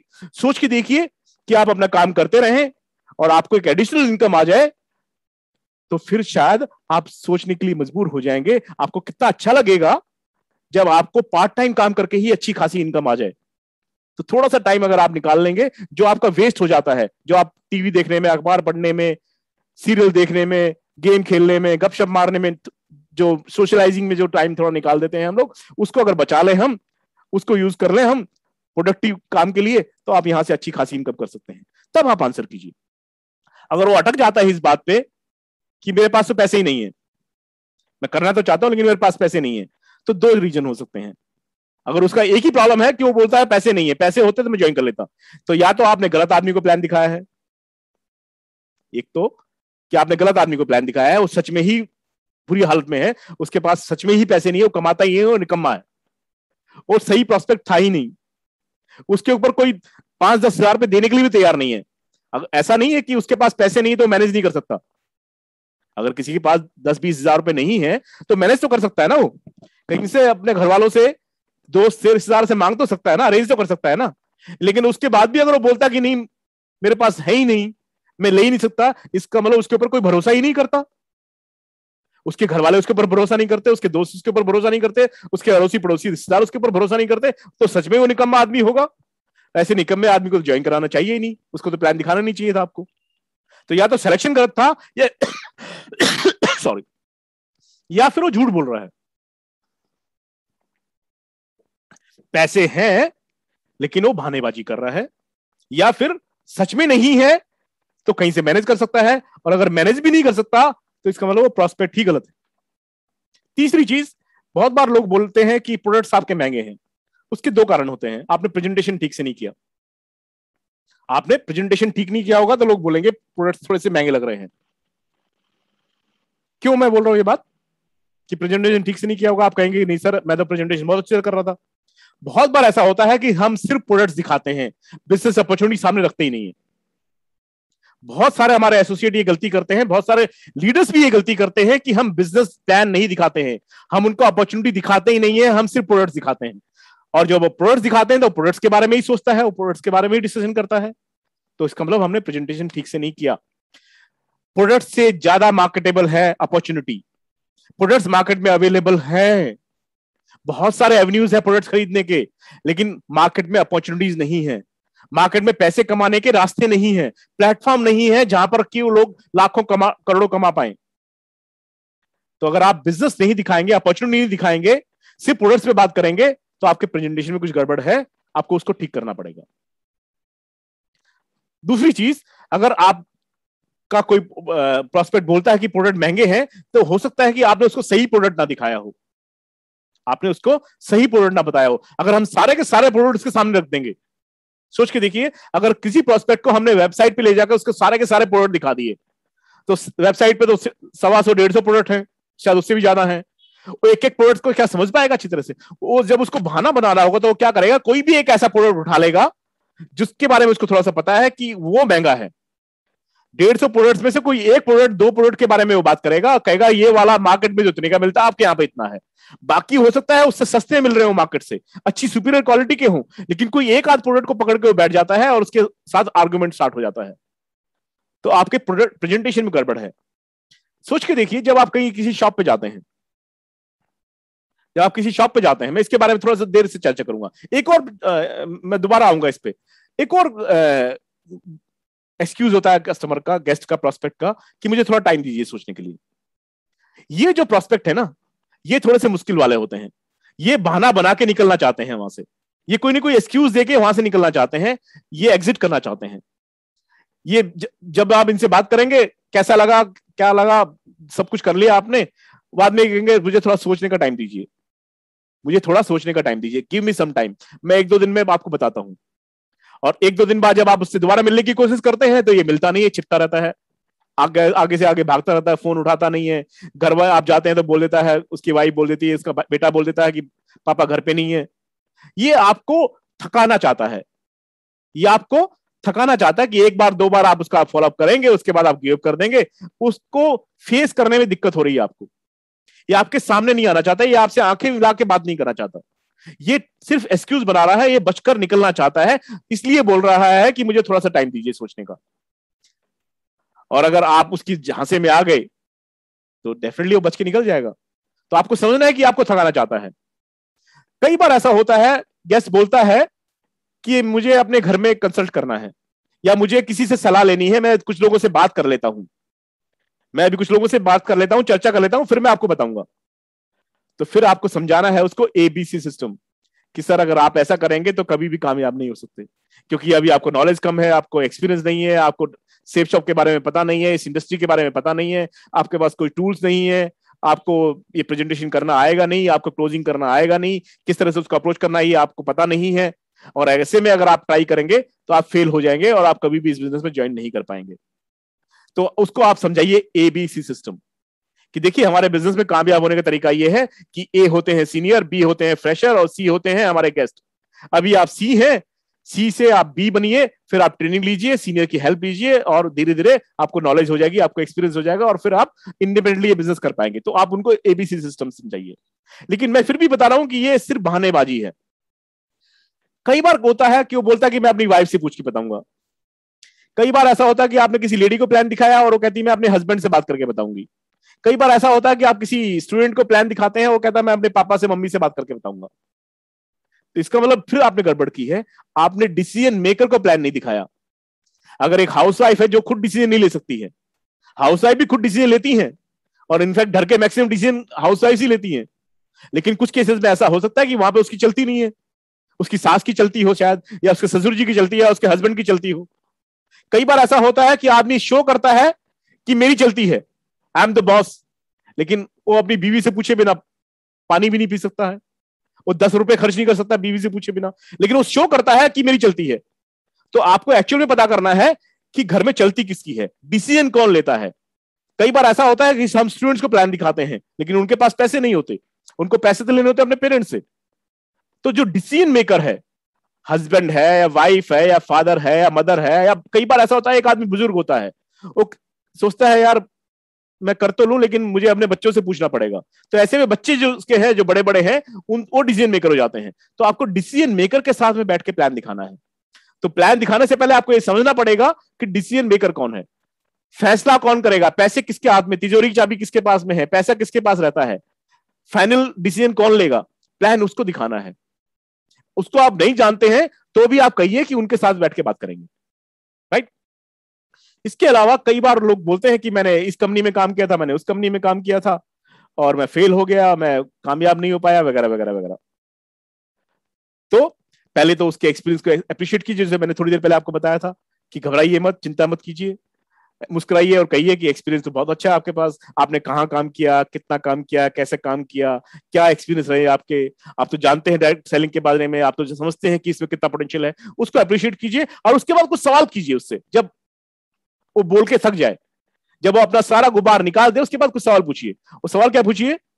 कि जब आपने ज्वाइन किया था किसी एक्स वाई जेड कंपनी में, या इवन सेफ़ शॉप में भी, किसी भी कंपनी में जब आपने ज्वाइन किया था तो आप वहाँ पर सेलर थे या बायर थे? आपने एज ए सेलर ज्वाइन किया था या एज ए बायर ज्वाइन किया था? तो ज़्यादातर लोग ना एज ए बायर ज्वाइन करते हैं, यानी कि इससे प्रोडक्ट खरीद लेते हैं। उनका इंटेंशन होता ही नहीं कि वो बेचना चाहते हैं। उसको समझाइए कि सेलर क्या होता है बायर क्या होता है डिफरेंस क्या होता है। सेलर वो होता है जिसको सेल्स करना आता है। सेलर वो होता है जो सेल्स के लिए एफर्ट लगाता है और बायर वो होता है जिसने सिर्फ़ ज्वाइन कर लिया। पे किया, उसका प्रोडक्ट उसके पास आया, उसने इस्तेमाल किया, रख लिया या किसी को गिफ्ट दे दिया और भूल गया। तो वो सिर्फ़ बायर था। तो बायर तो मार्केट में बहुत सारी चीज़ें खरीदता है। आप भी मार्केट से बहुत सारी चीज़ें खरीदते होंगे। लेकिन क्या बदले में कुछ उम्मीद करते हैं कि आपको पैसा आएगा? बायर को तो सिर्फ़ ये उम्मीद होती है कि जो प्रोडक्ट मैं खरीद रहा हूँ, उसको मैं इस्तेमाल करूँगा वो सही वैल्यू का प्रोडक्ट है, और वो खराब हो जाए तो उसकी सर्विस कौन करेगा? उसकी आफ्टर सेल सर्विस कैसी रहेगी? उसकी गारंटी वारंटी कैसी है? बस उसको उससे ही मतलब होता है। लेकिन सेलर को क्या देखना होता है? सेलर देखता है कि ये जो प्रोडक्ट रेंज है, ये प्रोडक्ट रेंज की डिमांड है कि नहीं है? ये मार्केटेबल है कि नहीं है? इसमें मार्जिन है कि नहीं है? ये बिकेगा तो मुझे कुछ मिलेगा कि नहीं मिलेगा? इसकी डिमांड है या नहीं है? तो सेलर का माइंडसेट अलग होता है बायर का माइंडसेट अलग होता माइंडसेट अलग होता है। तो आप अपने प्रोस्पेक्ट से पूछिए कि जब भी आपने पहले काम किया था ज्वाइन किया था तो आप वहाँ पर बायर थे या सेलर थे? ठीक है? अगर बायर थे तो इसका मतलब आप खुश थे। आपने जो खरीदा, आपको मिल गया। और अगर आप सेलर थे तो फिर पूछिए, आपने कितनी बार ट्रेनिंग अटेंड की? कितनी बार आपने सेल्स ट्रेनिंग अटेंड की? कितनी बार आपने सेल्स करना सीखा? कितनी बार ट्रेनिंग में गए? तो मैक्सिमम कंपनी में तो ट्रेनिंग होती नहीं है। तो कहेगा, नहीं, मैं तो ट्रेनिंग में तो गया ही नहीं। या ट्रेनिंग तो होती नहीं थी। उससे एक और सवाल पूछी कि आपने सेल्स स्किल्स सीखने के लिए, क्योंकि सेल्स एक स्पेसिफाइड स्किल है, एक बहुत ही शानदार स्किल है, बहुत इंपॉर्टेंट स्किल है तो सेल्स की कला सीखने के लिए आपने कितना पैसा खर्च किया? मुफ़्त में कुछ नहीं मिलता ना मार्केट में। पैसा खर्च करना पड़ता है, कुछ भी सीखने के लिए। स्कूल जाते हैं, पैसा खर्च करते हैं। कॉलेज जाते हैं, पैसा खर्च करते हैं। कोई प्रोफेशनल कोर्स करते हैं, आप पैसा खर्च करते हैं। तो सेल्स एक बहुत ही महत्वपूर्ण स्किल है, वो सीखने के लिए आपने कितना पैसा खर्च किया? बोलेगा, मैं तो कुछ किया ही नहीं। मैं तो एफर्ट लगाया ही नहीं। सामने आ जाएगा आपको। आपने सेल्स से रिलेटेड कितनी किताबें पढ़ी? कोई किताब पढ़ी आपने जो सेल्स पे थी? जो डायरेक्ट सेलिंग पे थी, जो नेट मार्केटिंग में थी, ऐसी कोई किताबें पढ़ी क्या आपने? क्या आपने टाइम कुछ इन्वेस्ट किया? आपने कितना टाइम लगाया? कितने दिन तक आपने कोशिश की? कितने दिन तक आपने एफर्ट लगाया? कितने दिन तक आप गेस्ट से मिलते रहे? कितने दिन तक आप ट्रेनिंग में और सेमिनार में और मीटिंग्स में जाते रहे? कितने लंबे टाइम तक? तो आपने टाइम इन्वेस्ट किया क्या? ये पूछिए उससे। साथ में पूछिए क्योंकि मैंने आपको बताया था कि अगर उसने काम किया है, मेहनत की है और वो कामयाब नहीं हुआ, तभी तो आज आप उसको अप्रोच कर रहे हैं। तो कारण क्या होगा? या तो उसने गलत कंपनी ज्वाइन की होगी, या उसका अपलाइन निकम्मा होगा, या फिर उसने खुद से मेहनत नहीं की होगी। तो उसको ब्लेम करने की बजाय कहिए कि हाँ आपने गलत कंपनी ज्वाइन कर ली थी, आप गलत जगह चले गए थे, आपको पता नहीं था, कोई बात नहीं। या आपने गलत आदमी के साथ ज्वाइन कर लिया था, या गलत टीम में ज्वाइन कर लिया था, लेकिन अभी आप सही जगह पर आए हैं। राइट उसको समझाइए पीपीपी किसी भी डायरेक्ट सेलिंग बिज़नेस में कामयाब होने के लिए तीन पी बड़े इंपॉर्टेंट होते हैं। अगर वो कोई भी डायरेक्ट सेलिंग कंपनी आप ज्वाइन करते हैं, समझाइए प्रोस्पेक्ट को। पहले आप खुद समझिए और प्रोस्पेक्ट को भी समझाइए कि अगर आपको किसी डायरेक्ट सेलिंग कंपनी का चुनाव करना है तो उसमें तीन चीज़ें देखनी है। पीपल जिनके साथ आप ज्वाइन कर रहे हैं। पीपल जो आपकी टीम में लीडर हैं। पीपल वो जो कंपनी को चलाने वाले हैं। अगर कंपनी को चलाने वाले लोग फ्रॉड हैं तो कंपनी नहीं चलेगी। आपके लीडर्स अगर फ्रॉड है या निकम्मे हैं तो आप नहीं कमा पाएँगे। आपका स्पॉन्सर अगर निकम्मा है तो नहीं काम कर पाएगा। देने की पीपल बड़े इंपॉर्टेंट होते हैं। दूसरा पी प्रोडक्ट्स प्रोडक्ट मार्केटेबल है क्या? प्रोडक्ट्स की रेंज अच्छी है क्या? प्रोडक्ट्स ऐसे हैं क्या जो लोग बार बार खरीदते हैं? प्रोडक्ट्स ऐसे हैं क्या जिनकी वैल्यू फॉर मनी है? प्रोडक्ट मार्केटेबल है, उनमें मार्जिन है, तभी आपको एंटर करना चाहिए। बहुत सारी कंपनियों में तो प्रोडक्ट ही नहीं होते, नाम के लिए प्रोडक्ट होते हैं। सिर्फ़ कॉन्सेप्ट सेलिंग करते हैं। सिर्फ़ वो लोगों को से पैसे लेते हैं ज्वाइन कराते रहते हैं, उसी को सर्कुलेट करते रहते हैं। एक्चुअल में मार्केटिंग नहीं कर रहे तीसरी चीज़ किसी को भी देखनी चाहिए, वो है बिज़नेस प्लान क्या उस बिज़नेस प्लान में सफिशियंट मार्जिन है, जिससे कि आपको आपकी सेल्स के ऊपर ढंग का इंसेंटिव मिल जाए? अगर प्रोडक्ट्स ऐसे हैं जिसमें मार्जिन ही अवेलेबल नहीं है तो ऐसे प्रोडक्ट्स को बेच के आप जितनी मर्ज़ी मेहनत कर लेंगे आप कमाई तो ज़्यादा कर नहीं पाएँगे ना। तो प्रोडक्ट ऐसे भी होने चाहिए, जो मार्केटेबल है, लेकिन उनके अंदर मार्जिन भी होना चाहिए जो मार्जिन से आपको इनकम मिलेगी कमीशन मिलेगा, जिससे कि आपकी मेहनत का आपको पूरा पूरा मुआवजा आपको मिल रहा होगा। तो ऐसी चीज़ें देखनी चाहिए। तो आप समझाइए कि पीपल प्रोडक्ट और प्लान ये तीनों चीज़ें देख लीजिए। हमारी कंपनी में प्लान भी बहुत अच्छा है प्रोडक्ट भी बहुत शानदार है और पीपल भी बहुत शानदार है और उससे वो डेफिनेटली सेटिस्फाई हो जाएगा। जब प्रॉब्लम होती है रियल में, मैंने बताया ना, कुछ तो उसकी बहानेबाजी होती है। वो अपनी रियल प्रॉब्लम को छिपाना चाहता है, कुछ और बहानेबाजी करता है। जो रियल प्रॉब्लम होती है, वो ये होती है कि उसको डायरेक्ट सेलिंग बिज़नेस पे भरोसा नहीं है। उसको नेटवर्क मार्केटिंग इंडस्ट्री के ऊपर भरोसा नहीं है। वो इस बिज़नेस को भरोसा ही नहीं करता बिलीव ही नहीं है उसको। ये ना बोलने के बजाय बोलता है, मेरे पास टाइम नहीं है, मेरे पास पैसे नहीं है, ये, वो सब बहानेबाजी करता है। रियल प्रॉब्लम क्या है? कि उसको डायरेक्ट सेलिंग पे भरोसा नहीं है। तो फिर आपको डायरेक्ट सेलिंग के बारे में बताना पड़ेगा उसको। समझाना पड़ेगा कि ये कितनी बड़ी इंडस्ट्री है और ये कितनी बड़ी होने वाली है। इस इंडस्ट्री में कैसे कैसे लोगों ने कैसा कैसा कमा लिया है? यहाँ पर टेस्टिमनी बड़ी इंपॉर्टेंट है। यहाँ पर आपको एग्जाम्पल्स देने पड़ेंगे लोगों के कि देखिए किसने कहाँ से कहाँ तक का सफ़र तय किया है। राइट तो इंडस्ट्री पे भरोसा जगाइए। कुछ लोगों को खुद के ऊपर भरोसा नहीं होता। इंडस्ट्री ठीक है, लेकिन उनको खुद को भरोसा नहीं होता। उनको लगता है, यार, मैं नहीं कर पाऊँगा। उनको अपने स्किल्स के ऊपर डाउट होता है। उनको अपनी मेहनत पे डाउट होता है। उनको अपने खुद के ऊपर भरोसा नहीं होता। तो उनको मोटिवेट करने की ज़रूरत है। उनको समझाने की ज़रूरत है कि प्रॉब्लम आपके अंदर नहीं है। प्रॉब्लम यह है कि आपको शायद सही प्लेटफॉर्म नहीं मिला, आपको सही कोच नहीं मिला, आपको सही मेंटोर नहीं मिला, आपको सही एनवायरमेंट नहीं मिला। आप सही एनवायरमेंट में काम करेंगे, सही कंपनी में काम करेंगे, सही प्लेटफॉर्म पे काम करेंगे, सही मेंटोर के साथ में काम करेंगे, अच्छी टीम के साथ में काम करेंगे तो आप कामयाब हो सकते हैं, आपके अंदर दम है। आप घबराइए मत, मैं आपकी मदद करूँगा, मैं आपको हेल्प करूँगा इस बिज़नेस को बिल्ड करने में। उसका कॉन्फिडेंस जगाइए, उसको मोटिवेट कीजिए। तीसरी चीज़ जो कारण होता है कि वो आपके ऊपर भरोसा नहीं करता, जो उसका इंट्रोड्यूसर है। जो इंट्रोड्यूसर है, उसके ऊपर वो भरोसा नहीं करता। उसके ऊपर उसको डाउट है। लेकिन वो खुल के बोलता नहीं है कि यार, मैं तेरे साथ में काम नहीं करना चाहता, क्योंकि वो मुँह लटका के बैठा रहता है, वो नेगेटिव आदमी है, वो देवदास टाइप का है। उसके साथ वो करना नहीं चाहता। तो अपने आप को चेंज कीजिए। प्रोस्पेक्ट में कोई प्रॉब्लम नहीं है, अपने हैबिट्स को चेंज कीजिए, अपने एटीट्यूड को चेंज कीजिए चीयरफुल नज़र आइए स्माइल कीजिए कॉन्फिडेंस दिखाइए ट्रेनिंग अटेंड कीजिए स्किल्स डेवलप कीजिए। ताकि आपके साथ लोग ज्वाइन करना चाहें। तो जो रियल प्रॉब्लम है वो क्या है? इंडस्ट्री पे भरोसा नहीं है, या कंपनी पे भरोसा नहीं है तो उसको समझाइए, दिखाइए डॉक्यूमेंट्स दिखाइए टेस्टमनीज दिखाइए, कामयाब लोगों से मिलवाइए, कामयाब लोगों की अचीवमेंट्स बताइए राइट उसको खुद के ऊपर भरोसा नहीं है तो उसका भरोसा जगाइए, उसको हेल्प कीजिए मोटिवेट कीजिए, उसको बताइए कि आप सही प्लेटफॉर्म पे आएँगे, सही जगह काम करेंगे, सही सिस्टम में काम करेंगे, सही कंपनी में काम करेंगे, सही मेंटोर के साथ में काम करेंगे तो आपके अंदर जो आपको लगता है कि भरोसे की कमी है, ये जग जाएगा। हम मिलकर काम करेंगे तो हम कामयाब हो जाएँगे। भरोसा जगाने की ज़रूरत है। अगर उसको आपके ऊपर भरोसा नहीं है तो अपनी पर्सनैलिटी को चेंज कीजिए। अगर आपने पास में कुछ गलती की है तो मान लीजिए। अगर आपसे पास में कोई गलती हुई है जिसकी वजह से उसका भरोसा टूटा हुआ है आप पर तो मान लीजिए कि हाँ मुझसे गलती हुई, अनजाने में हुई जानबूझ के नहीं की, या मुझे नहीं पता था, मैं इनएक्सपीरियंस था, मुझसे कुछ गलती हुई, कोई बात नहीं। लेकिन आज के बाद ऐसा नहीं होगा, हम मिलकर काम करेंगे और अच्छा काम करेंगे। तो अपनी गलती मान लेना भी बहादुरी है। मान लीजिए कि हाँ मुझसे गलती हुई है पास्ट में, लेकिन दोबारा नहीं होगी। और दोबारा कीजिए मत कभी भी। स्ट्रेटेजी क्या होनी चाहिए? प्लान शो करने के टाइम पे भी ऑब्जेक्शन हैंडलिंग के टाइम पे भी क्लोजिंग के टाइम पे भी आपको सुनना ज़्यादा है। ध्यान से सुनना है प्रोस्पेक्ट की बात को। राइट दूसरा ऑब्जेक्शन हैंडलिंग का एक सबसे अच्छा तरीका है feel felt found triple F formula feel felt found जब वो बोलता है कि मेरे पास टाइम नहीं है और उस पर अटक गया हो तो मैं समझ सकता हूँ। मैं समझता हूँ, मुझे पता है कि हाँ बिज़ी है है ना? लेकिन मेरे साथ भी ऐसी प्रॉब्लम थी। रिलेट टू हिज ऑब्जेक्शन आप, या तो अपनी खुद की एग्ज़ाम्पल या आपने अपलाइन का एग्ज़ाम्पल या आपने डाउनलाइन का एग्ज़ाम्पल कह के बताइए, जो आदमी बड़ा बिज़ी रहा हो पहले।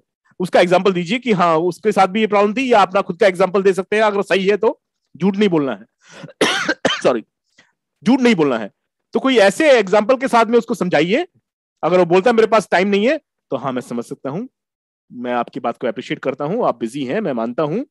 और आप बड़े इंपॉर्टेंट आदमी हैं, आपके लिंक बड़े अच्छे हैं, आप बड़े एम्बिशियस हैं और आप मेहनती हैं। यही तो बड़ी अच्छी क्वालिटी है आपके अंदर, है ना? लेकिन मुझे भी यही हालत थी। मैं भी ऐसा ही था। या मेरा अपलाइन या मेरा वो डाउनलाइन वो भी बड़ा बिज़ी था। वो भी बड़ा बिज़ी रहता था, वो भी बहुत भागदौड़ करता था, है ना? उसकी भी हाथ ऐसी थी। उसको फिर मेरे सीनियर से मैंने मिलवाया, या मुझे मेरे सीनियर ने समझाया। या मैंने अपनी टीम के उस बंदे को समझाया कि देखो कब तक आप इतनी मेहनत कर पाओगे? कितने दिन तक इतने भाग दौड़ कर पाओगे? कब तक आप दस घंटे, बारह घंटे, पंद्रह घंटे काम कर पाओगे? कभी ना कभी तो थक जाओगे। और जब थक जाओगे तो फिर आपको अपनी इनकम कैसे मिलेगी? या आपने एग्ज़ाम्पल देना होगा कुछ ऐसा कि देखिए उसने भी अपने बिज़ी शेड्यूल से टाइम निकाल के थोड़ा थोड़ा टाइम यहाँ पर लगाया और उसके बाद उसकी टीम डेवलप होती गई और उन लोगों ने मिलकर काम किया और आज वो अच्छी खासी इनकम करता है उसके पास पैसा भी है और उसके पास टाइम भी है।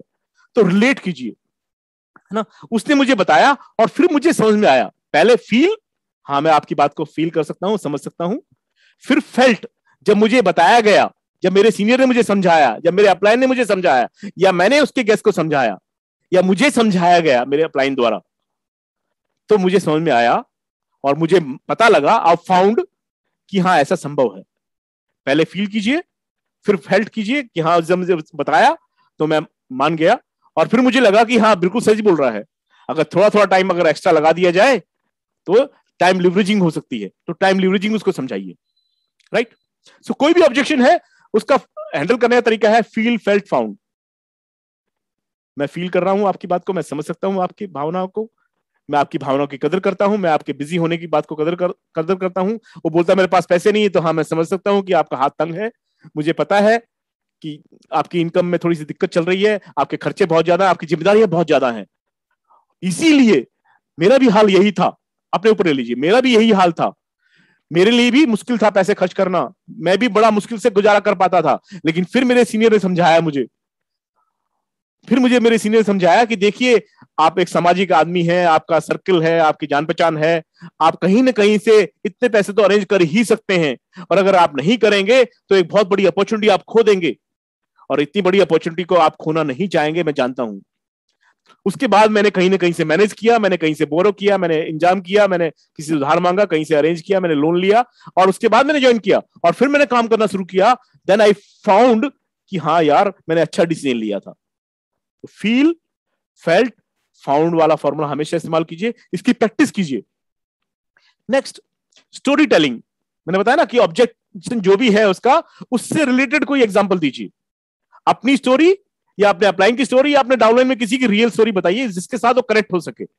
जो समस्या उसकी है, वही समस्या किसी और की थी, उसको कैसे हैंडल किया गया? और उसका समाधान कैसे निकला? ये आप उसको बताइए। अपने प्रोस्पेक्ट को जब भी वो मोटिवेट नहीं हो रहा, क्योंकि मैंने बताया कि कुछ इसके फेक इश्यूज़ होते हैं, कुछ रियल इश्यूज़ होते हैं। जो फेक इश्यूज़ है, वो आपको पता है, मैंने आपको बता दिए जो रियल इश्यू हो, क्या है? इंडस्ट्री पे भरोसा नहीं है, या खुद पे भरोसा नहीं है, या आपके ऊपर भरोसा नहीं है। है ना? यही कुछ मेन कारण होते हैं। यानी कि कॉन्फिडेंस की कमी है, यानी कि मोटिवेशन की कमी है पुश करने की ज़रूरत है। तो ऐसे में प्रोस्पेक्ट को पाँच साल पीछे ले जाइए। कि सोच के देखिए, आप पाँच साल पहले कहाँ थे? पाँच साल पहले आपकी तनख्वाह कितनी थी? पाँच साल पहले आप कहाँ रहते थे? पाँच साल पहले आप कैसी गाड़ी में सफ़र करते थे? पाँच साल पहले आपकी लाइफ कैसी थी? आपका लाइफ कैसा था? आपकी सेविंग्स कितनी थी? वगैरह वगैरह। पाँच साल पीछे ले जाइए। और फिर प्रेजेंट टाइम में ले आइए कि देखिए पाँच सालों में बदलाव क्या क्या आया?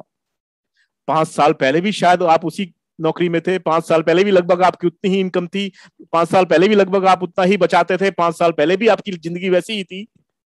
पाँच सालों में बदलाव क्या आया? पूछिए उससे। पिछले पाँच सालों में पाँच साल पहले आप कैसे थे? आज कैसे हैं? बदलाव कैसा आया? कितना बदलाव आया? क्या इस बदलाव से आप खुश हैं? फिर उसको पाँच साल आगे ले जाइए कि अगर पिछले पाँच सालों में कुछ नहीं हुआ तो क्या अगले पाँच सालों में कुछ हो जाएगा? अगले दस सालों में कुछ बदल जाएगा? अगर आप वही नौकरी करते रहे, उतने ही घंटे काम करते रहे, उतनी ही मेहनत करते रहे धीरे धीरे सैलरी बढ़ेगी धीरे धीरे इंक्रीमेंट बढ़ेगा, थोड़ा डीए मिलेगा, लेकिन महँगाई उतनी बढ़ जाएगी, वही ढाक के तीन पात रहेंगे। अगर पाँच सालों में आपकी ज़िंदगी में कुछ ज़्यादा बदलाव नहीं आया तो अगले पाँच सालों में क्या बदलाव आने वाला है? अगले दस सालों में क्या बदलाव आने वाला है? अगर आप बदलाव चाहते हैं अपनी लाइफ में तो आपको एक टफ डिसीज़न लेना पड़ेगा, एक मुश्किल फैसला आपको करना पड़ेगा, कुछ बड़ा फैसला आपको करना पड़ेगा, और ये फैसला करने का वक्त है। आपके पास एक बहुत शानदार अपॉर्चुनिटी है, आपके पास एक शानदार मौका है, आपके पास एक शानदार प्लेटफॉर्म है, जिस पर मैं और आप मिलकर काम करेंगे तो बहुत अच्छी इनकम कर सकते हैं। पाँच साल पीछे ले जाइए, फिर प्रेजेंट में ले आइए कंपेयर कीजिए, फिर पाँच साल आगे ले जाइए कि अगले पाँच साल भी ऐसे ही बीतने वाले हैं। क्या आप चाहते हैं कि अगले पाँच साल भी ऐसे ही निकल जाए? अगले दस अगले दस साल भी ऐसे निकल जाए? और फिर उसको मोटिवेट कीजिए। राइट एक बहुत अच्छी टेक्निक होती है सेल्स में, उसको बोलते हैं प्रेग्नेंट पॉज कुछ इंपॉर्टेंट बात बोलने के बाद, कुछ शानदार बात बोलने के बाद, कुछ अमेजिंग बात बोलने के बाद, उसके दिमाग में घुसने के बाद, उसके दिल को घुसने के बाद, उसको झकझोर करने के बाद, उसकी नींद उड़ाने के बाद, कुछ भी अमेजिंग बोलने के बाद कुछ क्षणों के लिए चुप हो जाइए। कुछ क्षणों के लिए चुप हो जाइए। और इंतज़ार कीजिए कि वो बोले। उसका इंतज़ार कीजिए, वो बोले। बिल्कुल ऐसा नहीं कि बिल्कुल चुपचाप बैठ गए, मौन धारण करके, और वो बोल ही नहीं रहा। तब तो आपको बोलना पड़ेगा। तब तो आपको उसको छेड़ना पड़ेगा। बोलना पड़ेगा, क्या हुआ? क्या कहाँ खो गए? क्या दिमाग में चल रहा है? क्या सोच रहे हैं? क्या दिक्कत है? कुछ तो बताइए। अगर वो नहीं बोलता है, तब आपने उसको छेड़ना पड़ेगा। लेकिन अगर कुछ आपने अमेजिंग बोला है जो मैंने अभी थोड़ी देर पहले बोला था कि देखिए, पाँच साल पहले आप जैसे थे, आज भी वैसे ही हैं। क्या अगले पाँच साल भी आप ऐसे चाहते हैं? पाँच साल पहले भी आपका बेटा स्कूल में पढ़ता था, आज भी उसी स्कूल में पढ़ता है। चाहते हैं कि आपका बच्चा स्कूल में जाए? पाँच साल पहले भी आप सरकारी ट्रांसपोर्ट यूज़ करते थे, या साइकिल पे जाते थे, या स्कूटर पे जाते थे, या बाइक पे जाते थे, या पुरानी कार में जाते थे, आज भी उसी कार में जा रहे हैं। पाँच साल पहले भी आपका ऐसा था, आज भी वैसा ही है। क्या अगले वाले पाँच साल भी आप ऐसे ही चाहते हैं? क्या अगले वाले दस साल भी आप ऐसे ही चाहते हैं, या अपनी लाइफ में कुछ बदलाव चाहते हैं? और ये बोल के चुप हो जाइए। कुछ सेकंड्स के लिए, कुछ फ्रैक्शन के लिए, कुछ लम्हे के लिए। और उसको बोलने दीजिए। अगर वो बोलेगा, नहीं, मैं कुछ बदलाव चाहता हूँ। क्या बोलेगा? इतना कुछ, उसके बाद में। वो यही बोलेगा कि हाँ यार, आप सही कह रहे हैं। बदलाव तो करना पड़ेगा, मुश्किल डिसीज़न तो लेना पड़ेगा, कुछ ना कुछ एक्स्ट्रा तो करना पड़ेगा। और वही आप चाहते हैं। जो भी वो बोलेगा प्रेग्नेंट पॉज के बाद में। एक छोटे से पॉज के बाद में जो वो बोलेगा, वही बोलेगा जो आप बुलवाना चाहते हैं। लगातार बोलते मत रहिए। कुछ भी अमेजिंग बात बोलने के बाद, कुछ शानदार बात बोलने के बाद, कुछ सेकंड के लिए चुप हो जाइए और उसको बोलने दीजिए। उसका रेस्पॉन्स देखिए। जो रेस्पॉन्स आएगा, वो बहुत शानदार आएगा। उसको बोलते हैं प्रेग्नेंट पॉज हमेशा क्लोज क्वेश्चन पूछिए और उसका जो प्राइमरी मोटिवेटिंग फैक्टर है, उसके साथ रिलेट कीजिए। क्लोजिंग के टाइम पे फॉलोअप के टाइम पे ऑब्जेक्शन हैंडलिंग के टाइम पे। कि ठीक है आपके पास टाइम नहीं है, ठीक है आपके पास पैसे नहीं है, ठीक है कि थोड़ा प्रोडक्ट महँगे हो सकते हैं, ठीक है कि आपको लगता है कि मुश्किल है, लेकिन क्या रास्ता कोई और है? जो आप चाहते हैं क्या कहीं से मिल जाएगा? जो आपको लाइफ में परिवर्तन चाहिए क्या हो जाएगा? आपके बच्चे बड़े हो रहे हैं, उनकी शादी के लिए पैसा चाहिए, आप उम्र हो रही है, आपको रिटायरमेंट के लिए पैसा चाहिए, है ना? आपके बच्चे बड़े हो रहे हैं, उनकी हायर एजुकेशन के लिए आपको पैसा चाहिए, आपको गाड़ी खरीदनी है, आपको अपना मकान बदलना है, आपने फॉरन ट्रिप पे जाना है जो भी उसके प्राइमरी मोटिवेटिंग फैक्टर थे, वो उसको याद दिलाने हैं। उसकी एक बैलेंस शीट बना लेनी है। उसके असेट्स उसके पास क्या क्या है और उसके ऊपर जो लाइबिलिटी है, जो उसके ऊपर ज़िम्मेदारी है, जो अगले पाँच सालों में, दस सालों में उसके साथ होने वाला है, उनकी लिस्ट बना लीजिए। जो उसके ऊपर लाइबिलिटीज है, जो उसकी जिम्मेदारियाँ है, उसके लिए कितना खर्च उसको करना पड़ेगा? रिटायरमेंट के लिए कितना खर्च करना पड़ेगा? बच्चों की शादी के लिए कितना खर्च करना पड़ेगा? उनकी हायर एजुकेशन के लिए कितना खर्च करना पड़ेगा? मकान खरीदने के लिए कितना खर्च करना पड़ेगा? ट्रिप पे जाने के लिए कितना पैसा खर्च करना पड़ेगा? जोड़ लीजिए। जितना उसके पास में है और जितना वो अगले कुछ सालों में जमा कर लेगा, क्या वो सब मिलाकर उतना हो जाएगा जितना उसको चाहिए? इसको बोलते हैं बैलेंस शीट बनाना। आप देखेंगे कि जो उसके पास में है और जो उसको चाहिए, उसमें ज़मीन आसमान का फ़र्क होगा। जो उसके पास में है और जो उसको चाहिए, वो बहुत ज़्यादा है। चाहिए बहुत कुछ उसको, लेकिन जो उसके पास में है, वो बहुत कम है। और उसको समझाइए कि अगर आप सेफ़ शॉप नहीं करेंगे ये बिज़नेस नहीं करेंगे तो आप बताइए कि बच्चों के लिए, शादी के लिए पैसे कहाँ से लाएँगे? अपनी रिटायरमेंट के लिए पैसे कहाँ से लाएँगे? अपना मकान खरीदने के लिए पैसे कहाँ से लाएँगे? गाड़ी खरीदने के लिए पैसे कहाँ से लाएँगे? और जैसे तैसे गुजारा कर तो लेंगे, और एक दिन बूढ़े हो जाएँगे, और एक दिन ऊपर वाला आएगा, यमराज आएगा, भैंसे में बैठ के, पता नहीं कैसे आएगा, लेकिन जब ऊपर से बुलावा आएगा, जब इस दुनिया को छोड़ के जाना पड़ेगा तो आप पश्चाताप के साथ जाएँगे या खुशी खुशी जाएँगे? इस पश्चाताप के साथ जाएँगे कि यार काश मैंने ये कर लिया होता, काश मैंने वो कर लिया होता, काश मैंने ऐसा ना किया होता, काश मैंने वैसा ना किया होता तो आज मेरी ज़िंदगी अच्छी नहीं होती। ऐसे जाना चाहेंगे या खुश की खुशी जाएँगे कि यार जो मुझे चाहिए था लाइफ में मैंने वो किया और मैंने वो पाया और मैंने ज़िंदगी को खूब एंजॉय किया, मैं दुनिया घूमा, मैंने शानदार गाड़ी खरीदी, शानदार घर बनाया, अपने बच्चों को अच्छी एजुकेशन दी, अपना रिटायरमेंट मैंने अच्छी तरह से बिताया। मुझे कुछ नहीं चाहिए। लाइफ में मैं सेटिस्फाइड था। ऐसी ज़िंदगी चाहिए या वैसी वाली चाहिए जो ज़्यादातर लोगों की होती है? अगर वैसी वाली चाहिए और आप सेफ़ शॉप करने से मना कर रहे हैं या नहीं ज्वाइन करना चाहते हैं तो मुझे बताइए कौन सा वो रास्ता है जिससे कि आपकी जिम्मेदारियाँ, आपकी जरूरतें, आपके सपने, आपकी इच्छाएँ पूरी हो जाएँगी? और फिर प्रेग्नेंट पॉज फिर चुप। कुछ सेकंड के लिए। जवाब क्या आएगा? कोई और रास्ता नहीं है। तो कहिए कि कोई और रास्ता नहीं है तो ये सही रास्ता है। आइए, हाथ मिलाते हैं, अभी शुरू करते हैं और काम शुरू, काम पे लग जाते हैं। If not shape shop then what हमेशा फोकस कीजिए अपॉर्चुनिटी के ऊपर। जैसे मैंने बताया प्रोडक्ट प्रोडक्ट बेचने के चक्कर में मत रहिए। अपॉर्चुनिटी के ऊपर फोकस कीजिए, आपको मायूसी हासिल नहीं होगी। अगर आपको लगता है कि आपकी इनकम नहीं आ रही है तो इसका मतलब गलती कर रहे हैं आप। आप कम बीवीज वाले प्रोडक्ट बेच रहे हैं तो ज़्यादा बीवी वाले प्रोडक्ट बेचिए। मेहनत उतनी ही लगती है प्रोस्पेक्टिंग करने की प्लान दिखाने की क्लोजिंग करने की फॉलोअप करने में उतनी मेहनत लगती है। लेकिन अगर आप दस बीवी की, बीस बीवी की सेल लेके आ जाते हैं तो आपको अपनी मेहनत का पूरा पैसा नहीं मिला। उतनी ही मेहनत करके आप थोड़ा सा और एफर्ट लगा के आप सौ बीवी की, डेढ़ सौ बीवी की, दो सौ बीवी की सेल निकाल सकते हैं, लेकिन हम जल्दी से सरेंडर कर देते हैं। जैसे उसने बोला, मेरे पास पैसे कम है, हम मान लेते हैं। सो ऐसा मत कीजिए हायर बीवीज की सेल पे फोकस कीजिए। साथ में, याद कीजिए, मैं आप, ये बात मैंने छोड़ दिया था। कि जब आप कुछ खरीदने जाते हैं, मैं दोबारा उस बात पे आ रहा हूँ जो मैंने बीच में छोड़ दिया था, मैंने बोला था, मैं आपके बाद में बात करूँगा। सो दो मिनट में आपको मैं समझाना चाहता हूँ। जब भी आप कुछ शॉपिंग करने निकलते हैं, जब भी आप कुछ खरीदने निकलते हैं, मान लीजिए आप एक ज्वेलरी शॉप में गए, आप कुछ ज्वेलरी खरीदना चाहते हैं, आप ज्वेलरी शॉप में गए। ज्वेलरी शॉप में मेरे ख्याल से 200 300 400 500 चीज़ें रखी होंगी। क्या दुकानदार आपको सारी चीज़ें दिखाता है? क्या सारी वैरायटी दिखाता है? क्या सारे ऑप्शंस दिखाता है आपको? सब कुछ दिखा देता है आपकी दुकान में क्या क्या है उसकी दुकान में? उसकी दुकान में क्या क्या है? या वो ये दिखाता है, या वो आपसे ये पूछता है कि आपको क्या चाहिए? दुकानदार आपको सब कुछ नहीं दिखाता है, अपनी पूरी दुकान नहीं दिखाता है, वो आपसे पहले ये जानना चाहता है कि आपको क्या चाहिए? आप उसको कहते हैं कि मुझे अपनी वाइफ के लिए एक हार चाहिए। तो सिर्फ़ आपको हार दिखाता है। वो पूछता है डायमंड का चाहिए या सोने का चाहिए? तो जो भी आप बोलते हैं वो दिखाता है। किस रेंज का चाहिए?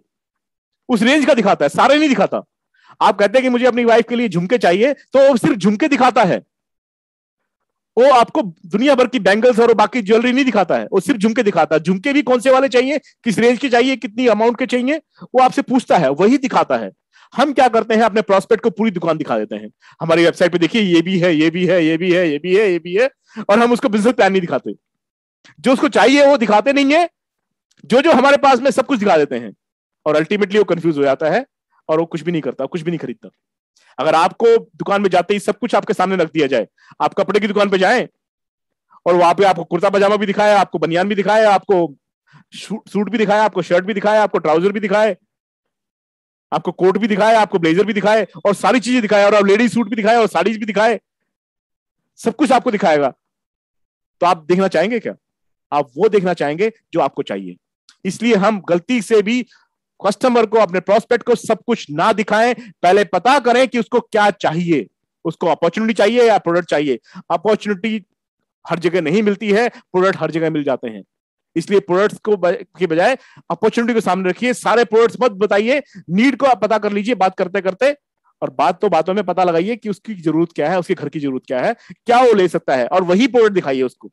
कॉम्बो बना के दिखाइए। अगर उसको चार पाँच चीज़ों की रिक्वायरमेंट लगती है तो चार पाँच चीज़ों का एक कॉम्बो बना के बताइए इतनी कॉस्ट है, इतना पैसे लगेंगे, और आप ले लीजिए।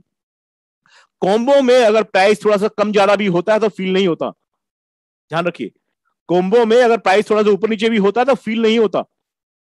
लेकिन सिंगल सिंगल में हो सकता है, किसी को लगे कि ये महँगा है या सस्ता है। इसलिए कस्टमर की नीड को समझिए, उसको बिज़नेस चाहिए, उसको अपॉर्चुनिटी चाहिए या उसको प्रोडक्ट चाहिए। और प्रोडक्ट में भी उसको कौन सा चाहिए, वही दिखाइए। अपॉर्चुनिटी उसको पार्ट टाइम में चाहिए तो उसको पार्ट टाइम के बारे में बताइए। उसके बारे में क्लोजिंग कीजिए। अगर फुल टाइम काम करना चाहता है तो फुल टाइमर का एग्ज़ाम्पल दीजिए। जो उसकी नीड है, वही दिखाइए। लास्टली एंड मोस्ट इंपोर्टेंटली एक बात आपको बोलना चाहता हूँ, और उसके साथ मैं आपसे विदा लेना चाहता हूँ।